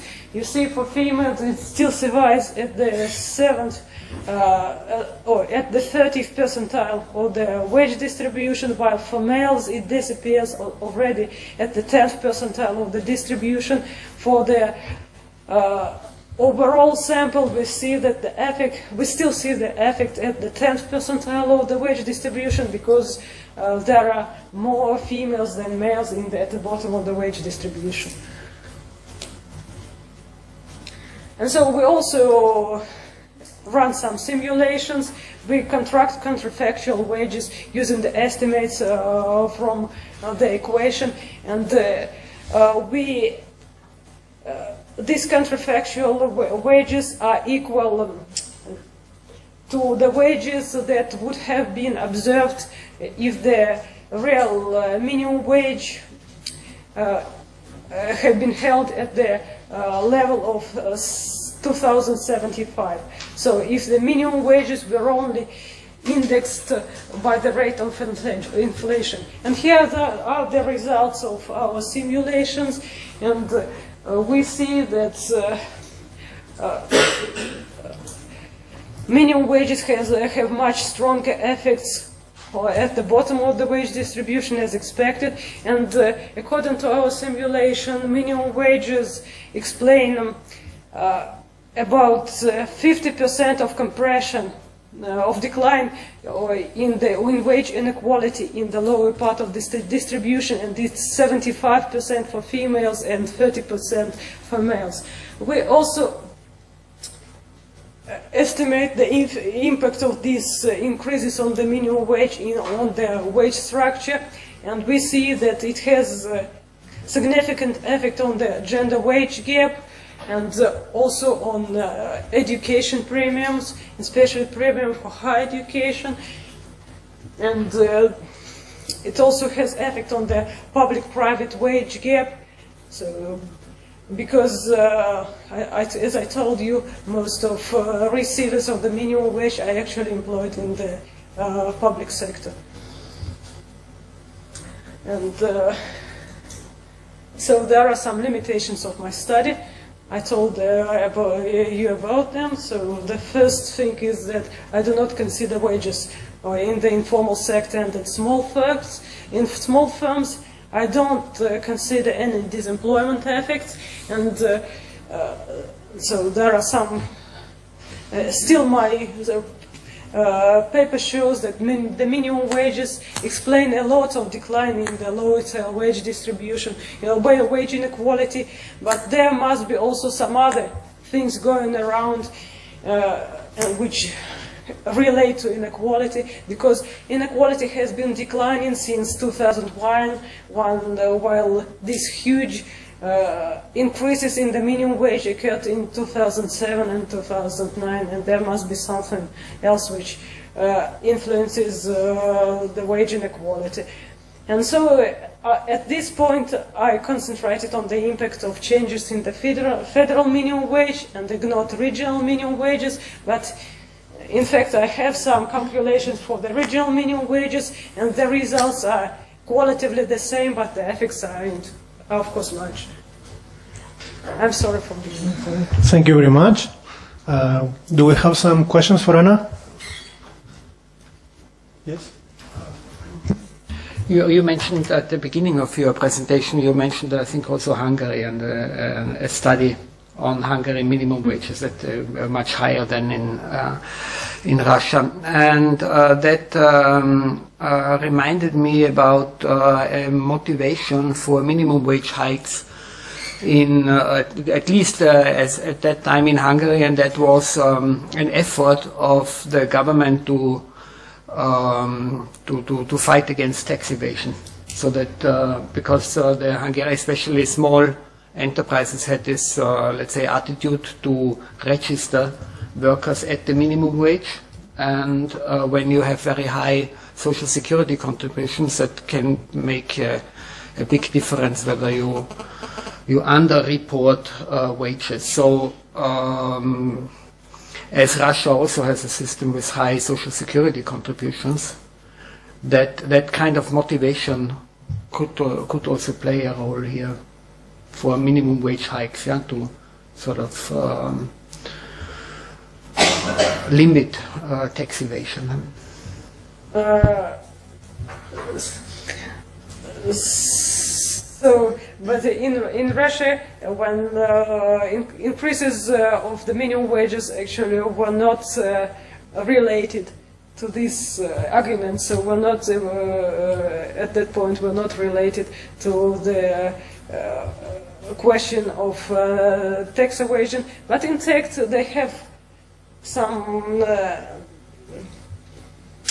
they're in fact actually related because we don't know where they see real effects or not real effects. Because in Russia, even in the formal sector, it often happens that, it, especially at the small firms, no, it's so, not so much uh, common at medium-sized and large-sized firms, but in small firms especially, it's uh, common that the worker uh, so in uh, in the books, the worker is only uh, uh, given the wage exactly at the level of the minimum wage, but uh, the rest he is uh, paid in the envelope. And so, with the increase in the minimum wage, so employers increase his paper wage, and so we receive this paper effect, but not the real effect. Actually, I want uh, not uh, to raise a question, but probably to answer or to add to Anna's answer to, uh, to Andreas. I think there is a peaking time bomb in this uh, minimum wage setting because the labor code, Russian labor code says that minimum wage cannot be lower than su uh, subsistence level. And Russia is very diverse country. So what's uh, uh, what's uh, not binding at all in Moscow or in average region can be very much binding in uh, North Caucasus or some depressed region. So it's uh, first of all just just uh, it's impossible. It, it's absolutely useless thing to have just one minimum wage for the whole country. But this gives trade unions very strong political tool. So uh, as soon as they need to get some success, they, they you know, they uh, accuse the government that it violates the law. And it's interesting that all these hikes in minimum wage, they happened uh, before the elections. And uh, they started before the elections. And some of these hikes, they were actually announced announced much before they were introduced. So companies had possibilities, you know, to adjust to that. And uh, in fact, that's uh, one thing. So tax, tax evasion issues, they are discussed somehow, but they are not, uh, they are not uh, the key argument, in the key argumentation. Another thing is that, uh, this is my guess, but uh, I believe in this more and more. That due to some reasons, I can discuss this, I can uh, say more about this. Official data on wages, they overestimate wage, but not underestimate. And the reason is because about one third of the labor force of employment are not covered by the official uh, wage statistics. And the portion which is not covered, it's in general uh, low wage people. So it's uh, therefore I guess that in fact Kaitz index uh, is a bit different and it's more, it's higher than it is then we, when we just look at it. And this also relates to uh, Alexandra and Alexei's paper. So, and first of all, this can be so in uh, low wage regions. And if you look at, for example, low wage regions, Kaitz index there can be up to 50%, not probably 50, but, well, even 50. Like Dagestan, it can be 50. If we if we uh, if we overestimate wage, then it's even higher. But the fact is that those, uh, uh, I don't believe much in the story itself. You know that we have much discussions about minimum wages in Russia uh, or with you, and so I do not believe much uh, on the, that uh, minimum wages actually are very important at this level, at, as we have now. They're not there constraining some economic activities and etc. But um, because uh, this uh, part of the economy where uh, where wages are low, actually, it's not so much covered by the minimum wages as well. It has a, it's a mostly informal sector or close to info, informal sector, and uh, minimum wages are not so much enforced there. Uh, any other questions?